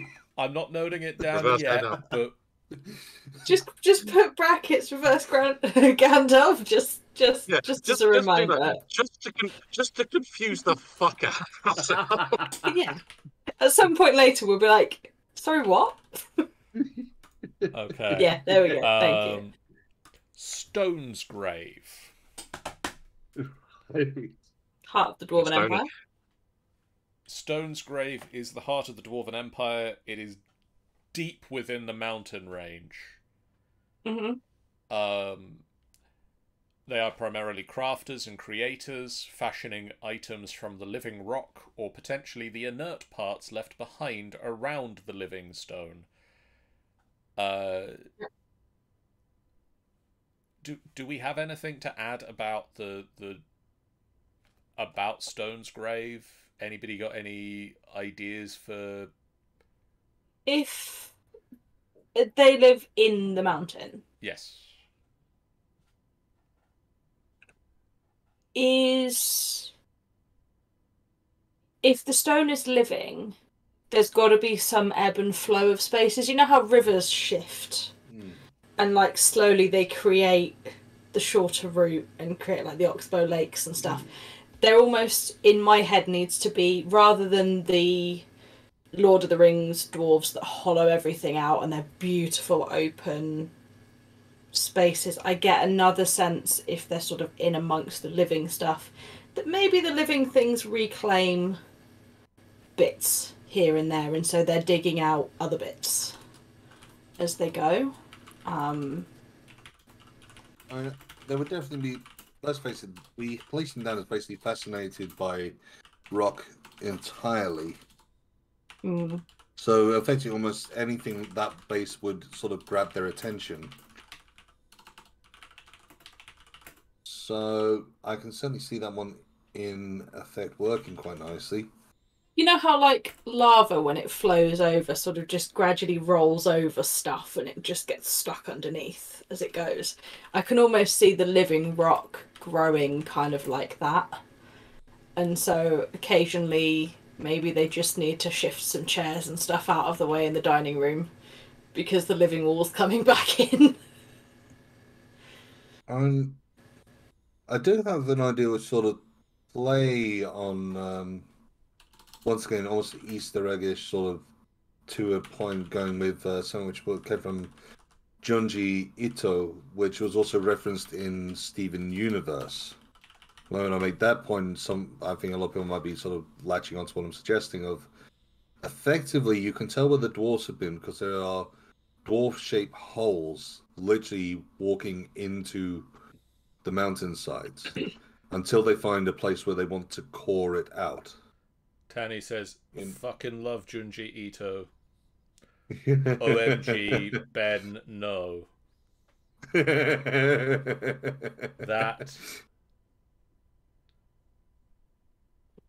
That. just Ah. just that. Just that. One is fuck up. Just, just that one is fuck up. Oh Not yeah, even well fucked up. done. it, it's it's one of those bits where it's a, a really creepy story. I'm not going to go into details because it's so. I think people need to see. Danny might disagree, Tan- but yeah, Tanny might have seen. yeah.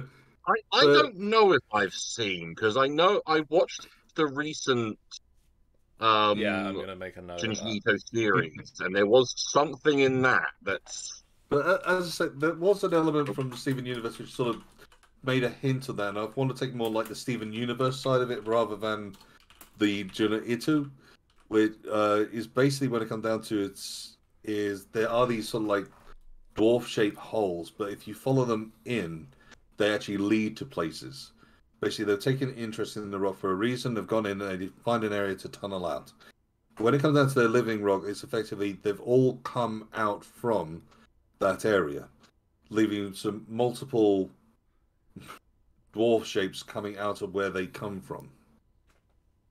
And it is still a place which they will go back to again and again, but it is one of those things. So not quite as disastrous as the the main story there, Tanny. Don't worry, that'll be later. But but yeah, when it comes down to the whole bit of effectively taking the shortest route, the easiest route, and the easiest route is to, in some cases, where it looks like they've literally just walked straight through, but why carve more than you need to? Why take more than you need to?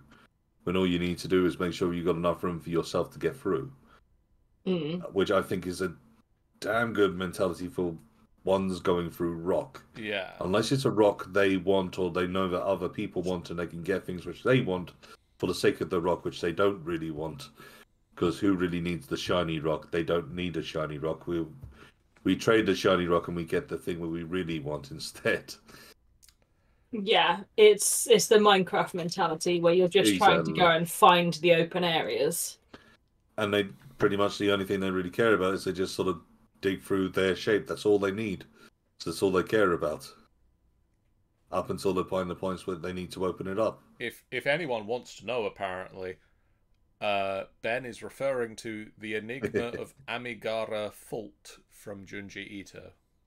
At least Tanny says that's what you're referring to. I I can I believe that's what assume it- that yeah. Tanny is correct in that is what the thing. I'm making a great presumption to. that you. I'm making a great presumption that you have got it on the head because I'm terrible with names, so I'm not going to try and confirm or deny it. But yeah, when it comes down to it, the story, let alone, is, is something which stuck. But yeah, as I say, is taking more with that whole element from the Steven universe rather than from the incredible horror, psychological horror that is that one. I think it works quite nicely. Not too overbearing, it doesn't do anything else, and it sort of gives a, a mentality towards what the dwarves do when it comes down to it. Yeah.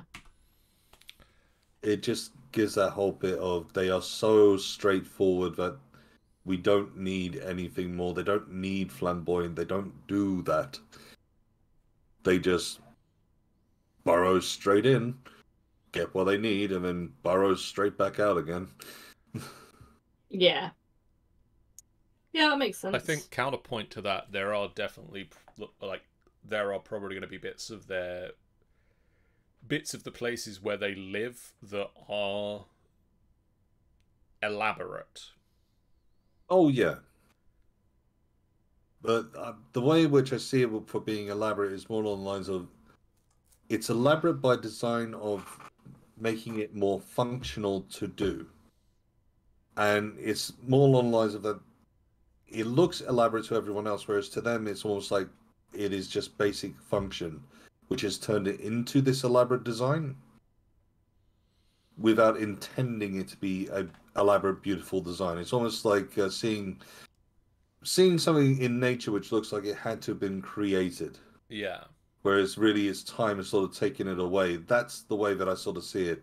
There's a majestic beauty to it, which they don't really understand as a beauty, but for some reason people like it and they can work around that or they've been placing down for a different idea, but they've been known to sell their places in the past, which are these great underground burrows, which have now been renovated to accent these great design which they created without even trying.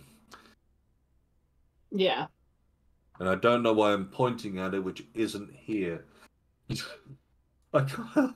it's like, yeah, it's just over here. You can only see this lovely alcoves I've got over there. I put my hand down. Can I, can I poke where you're putting your hand up to? Here somewhere. yeah.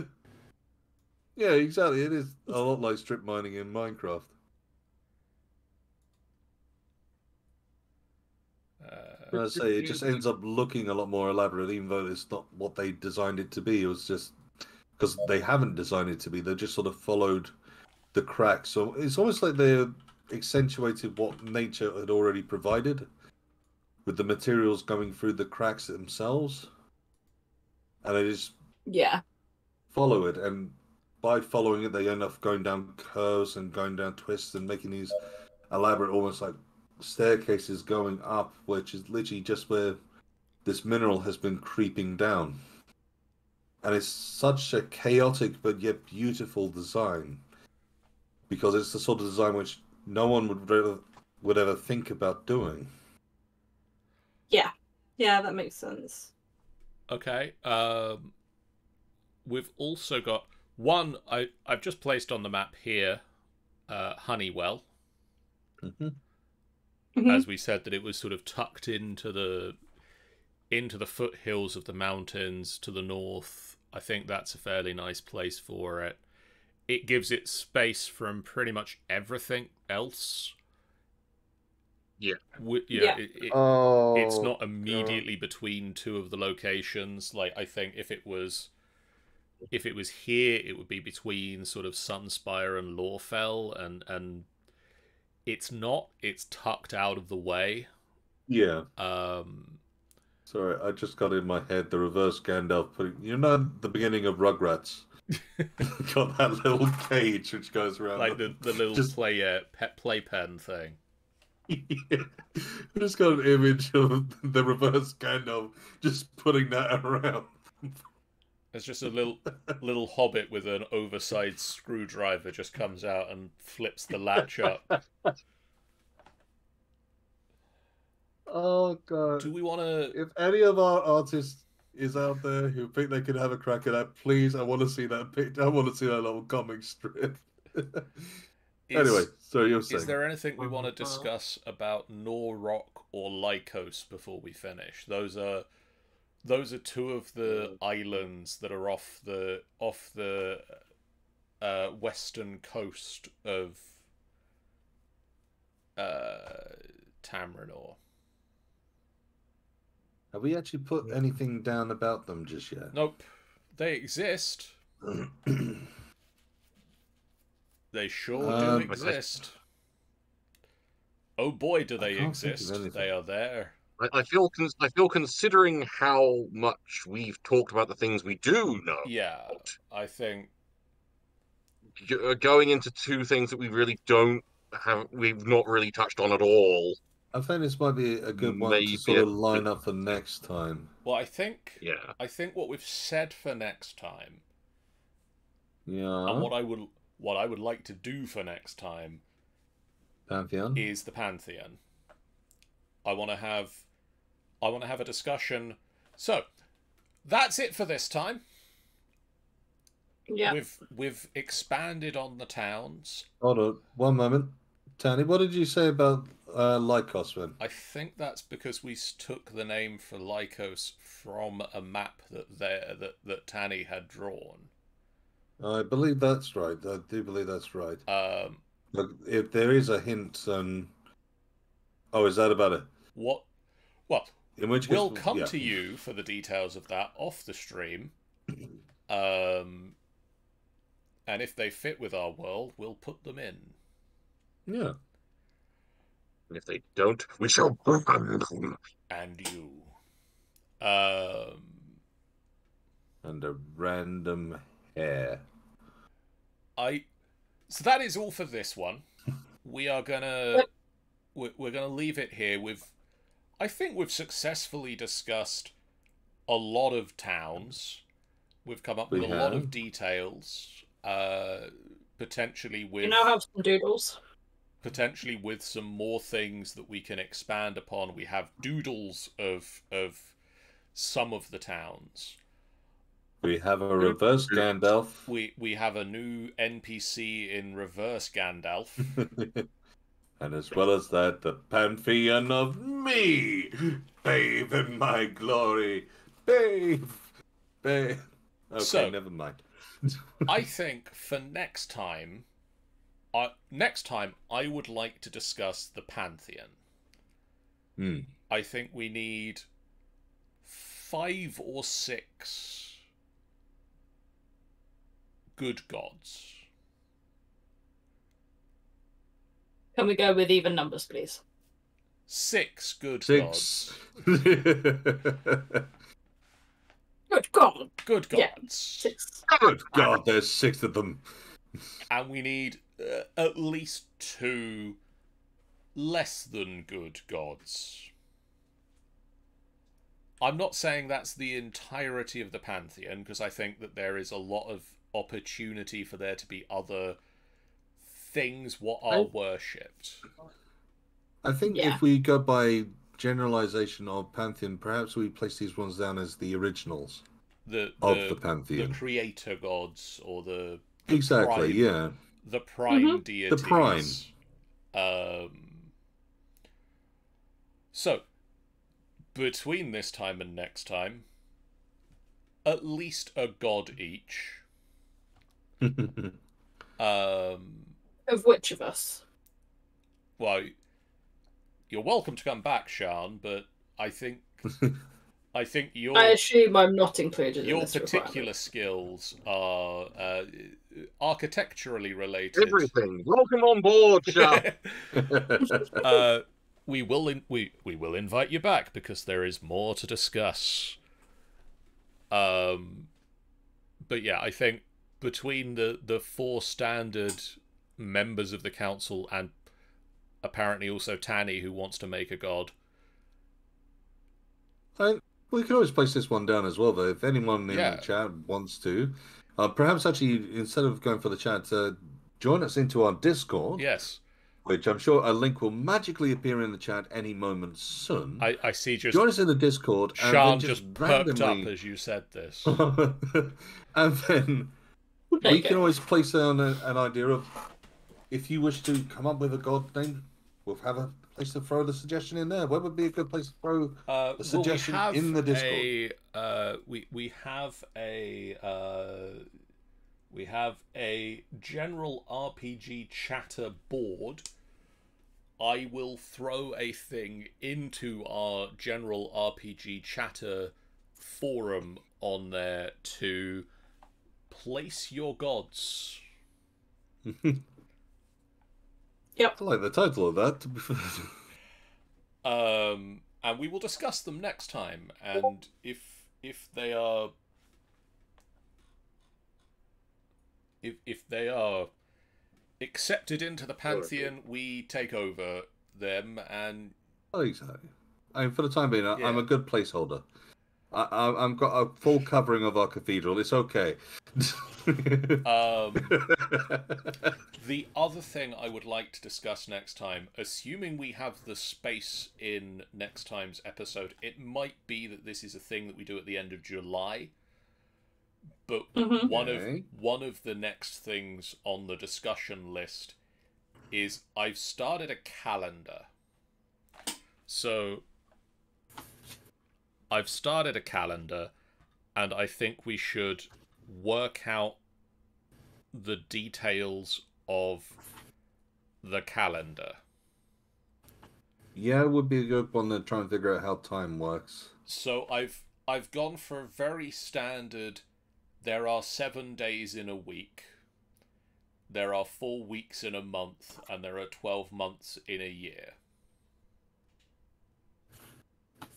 I, for the sake of simplicity in gameplay, and I, I generally place this one down whenever it comes down to playing pretty much any RPG I've played, and Ryan in particular, that keeping it to the calendar which everyone is already adjusted to, they understand what a day roughly would be like, they understand what an hour roughly is.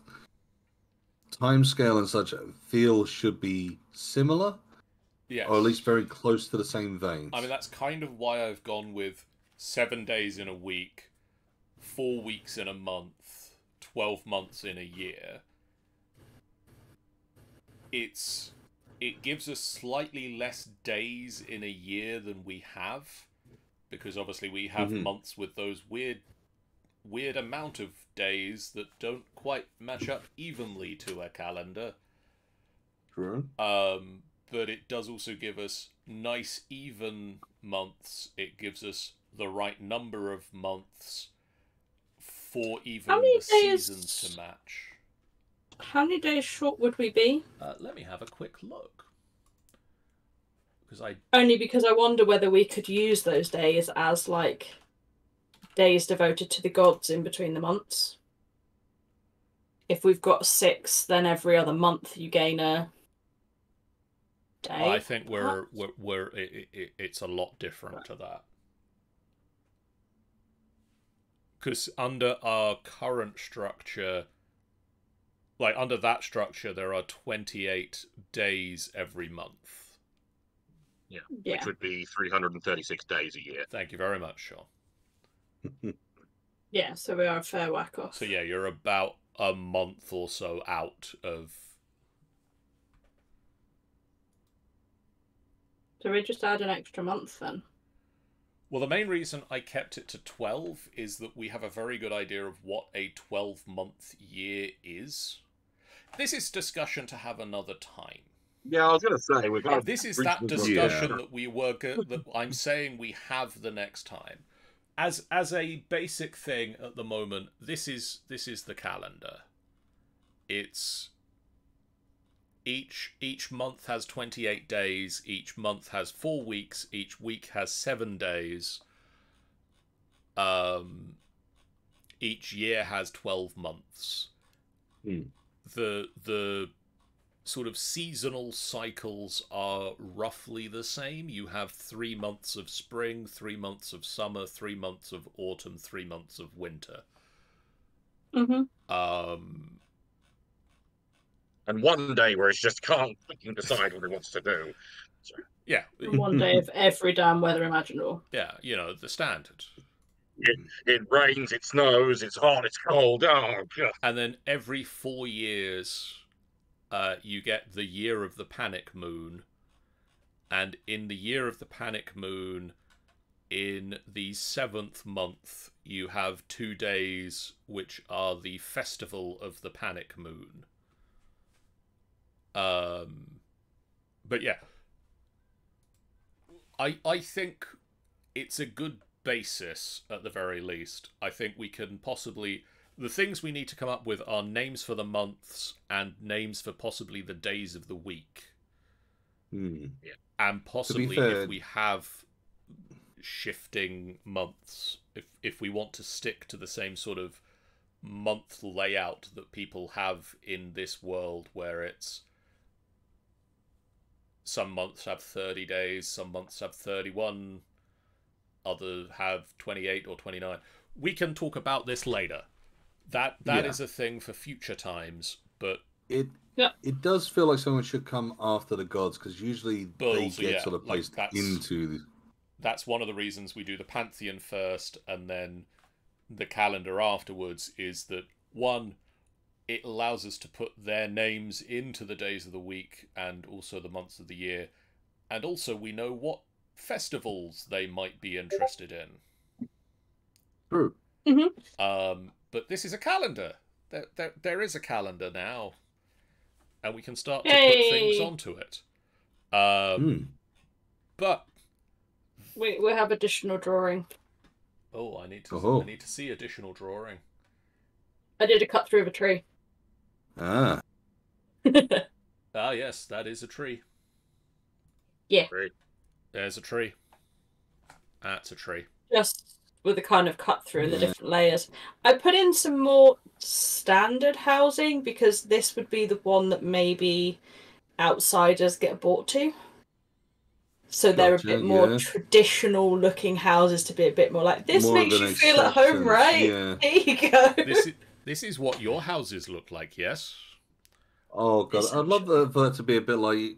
Have you seen the images of the Japanese British villages Mm, where Yeah. they've tried to create Britain over there because they love them touristy wise and all that side of things, and it's it's like you've got it, but it's off. I There's not, Yeah. something not quite right. I kind of like the idea that like it they look like ordinary houses from a distance.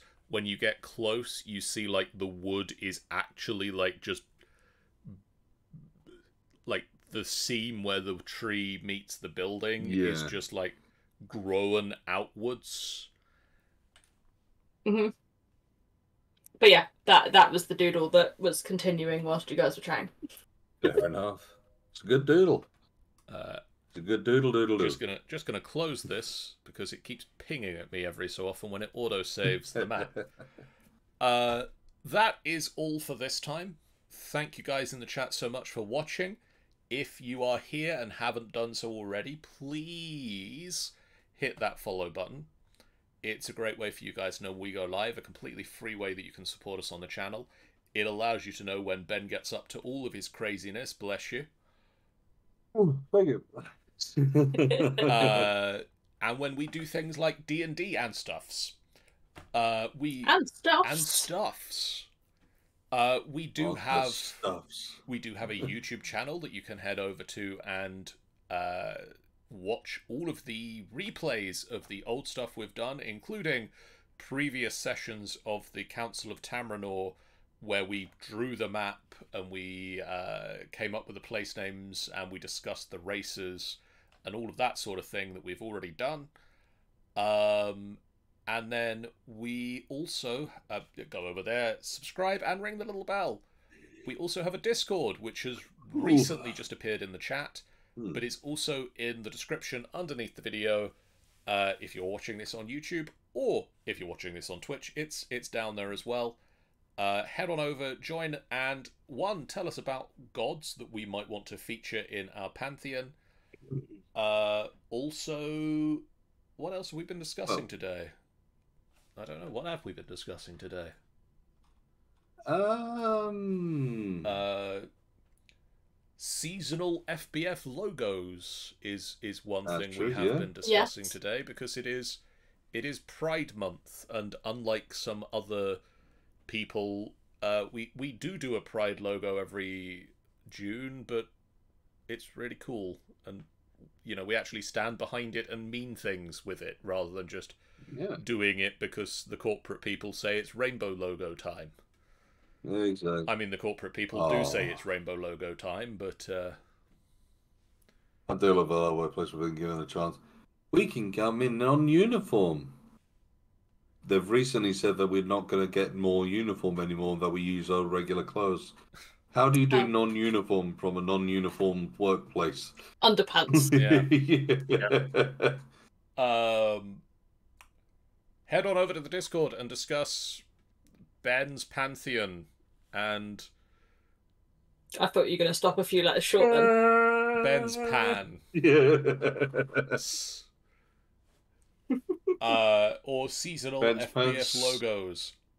I've already I've already seen the doodle for one FBF seasonal logo that I asked somebody to doodle for us today, and Is it just the FBF, is it just the FBF logo with just a Santa hat just like on top? no, I've not I, Jaunty. I've, I've not asked Yeah. for an FBF Christmas logo yet, but look forward to October, guys. When I draw the FBF logo with a tiny Santa's uh, Oh, just wait for Arbor Day, where I will make a wooden. Um, we also have a website, finalbossfight.co.uk, where you can go to see all of the good stuffs that we do, uh, written content. You can find uh, profiles of the characters that we play, and all sorts of interesting things over there. Uh, Law says, "I doodled you lot too."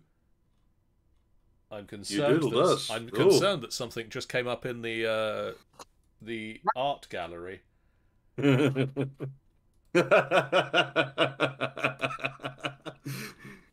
oh, Nice. God. oh, that's adorable. Oh my god! Bet, and what are you Ben, doing with the put river? that river back. I'm, I'm, I'm currently trying like- to. I'm apparently trying to strangle Ben. It's honestly, it kind of looks like the umbilical cord, cord of the world. I just love it. I'm Oh, that's adorable. I I'm Billy Connolly. Yeah. You are, When Yeah. did I turn but into you are in real life as when well. did I turn into Billy Connolly? Did did nobody tell Just me roll with it, John. Oh, Just, just roll with it. We were trying to give you clues, like when we gave you the stilted boots and the funny trousers. Uh, anyway, uh, yeah, head on over to the Discord for I love that. that as well. That's that's stuff that's We'll not have more of that, there. please. We'll have tons Yeah. more of that, please. We'll love those. I love. I actually Cool. love it. Uh, I just love the fact that you three are working quite happily on it, and there's me just playing around. Oh. We have the following streams coming up as well. Uh, tomorrow night we're going to be playing D and D because it's uh, the start of the month, and the tyranny of dragons continues. Uh, last time we had a rock fall on our heads, and. Oh. and Mork the orc was not quite quick enough to get out of the way of it, and we also lost. The Morg the Orc got walked. Yeah, Mm, yeah. Uh, we also lost the cardboard cutout of Arturius, but that's fine because the real Arturius is returning. Um, as we continue to hunt down the cultists that attacked Greenest.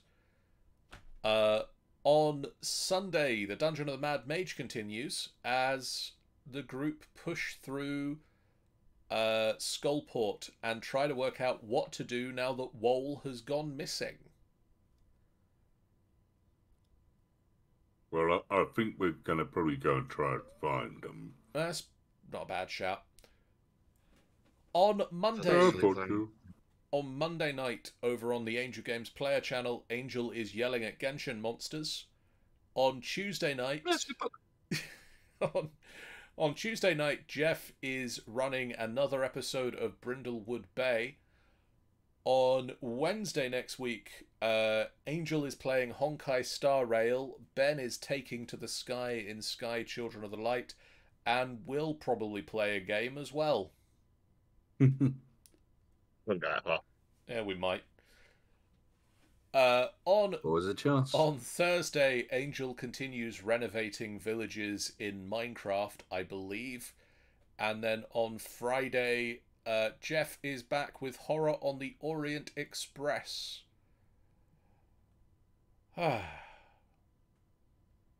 those those are the streams what are coming up next week.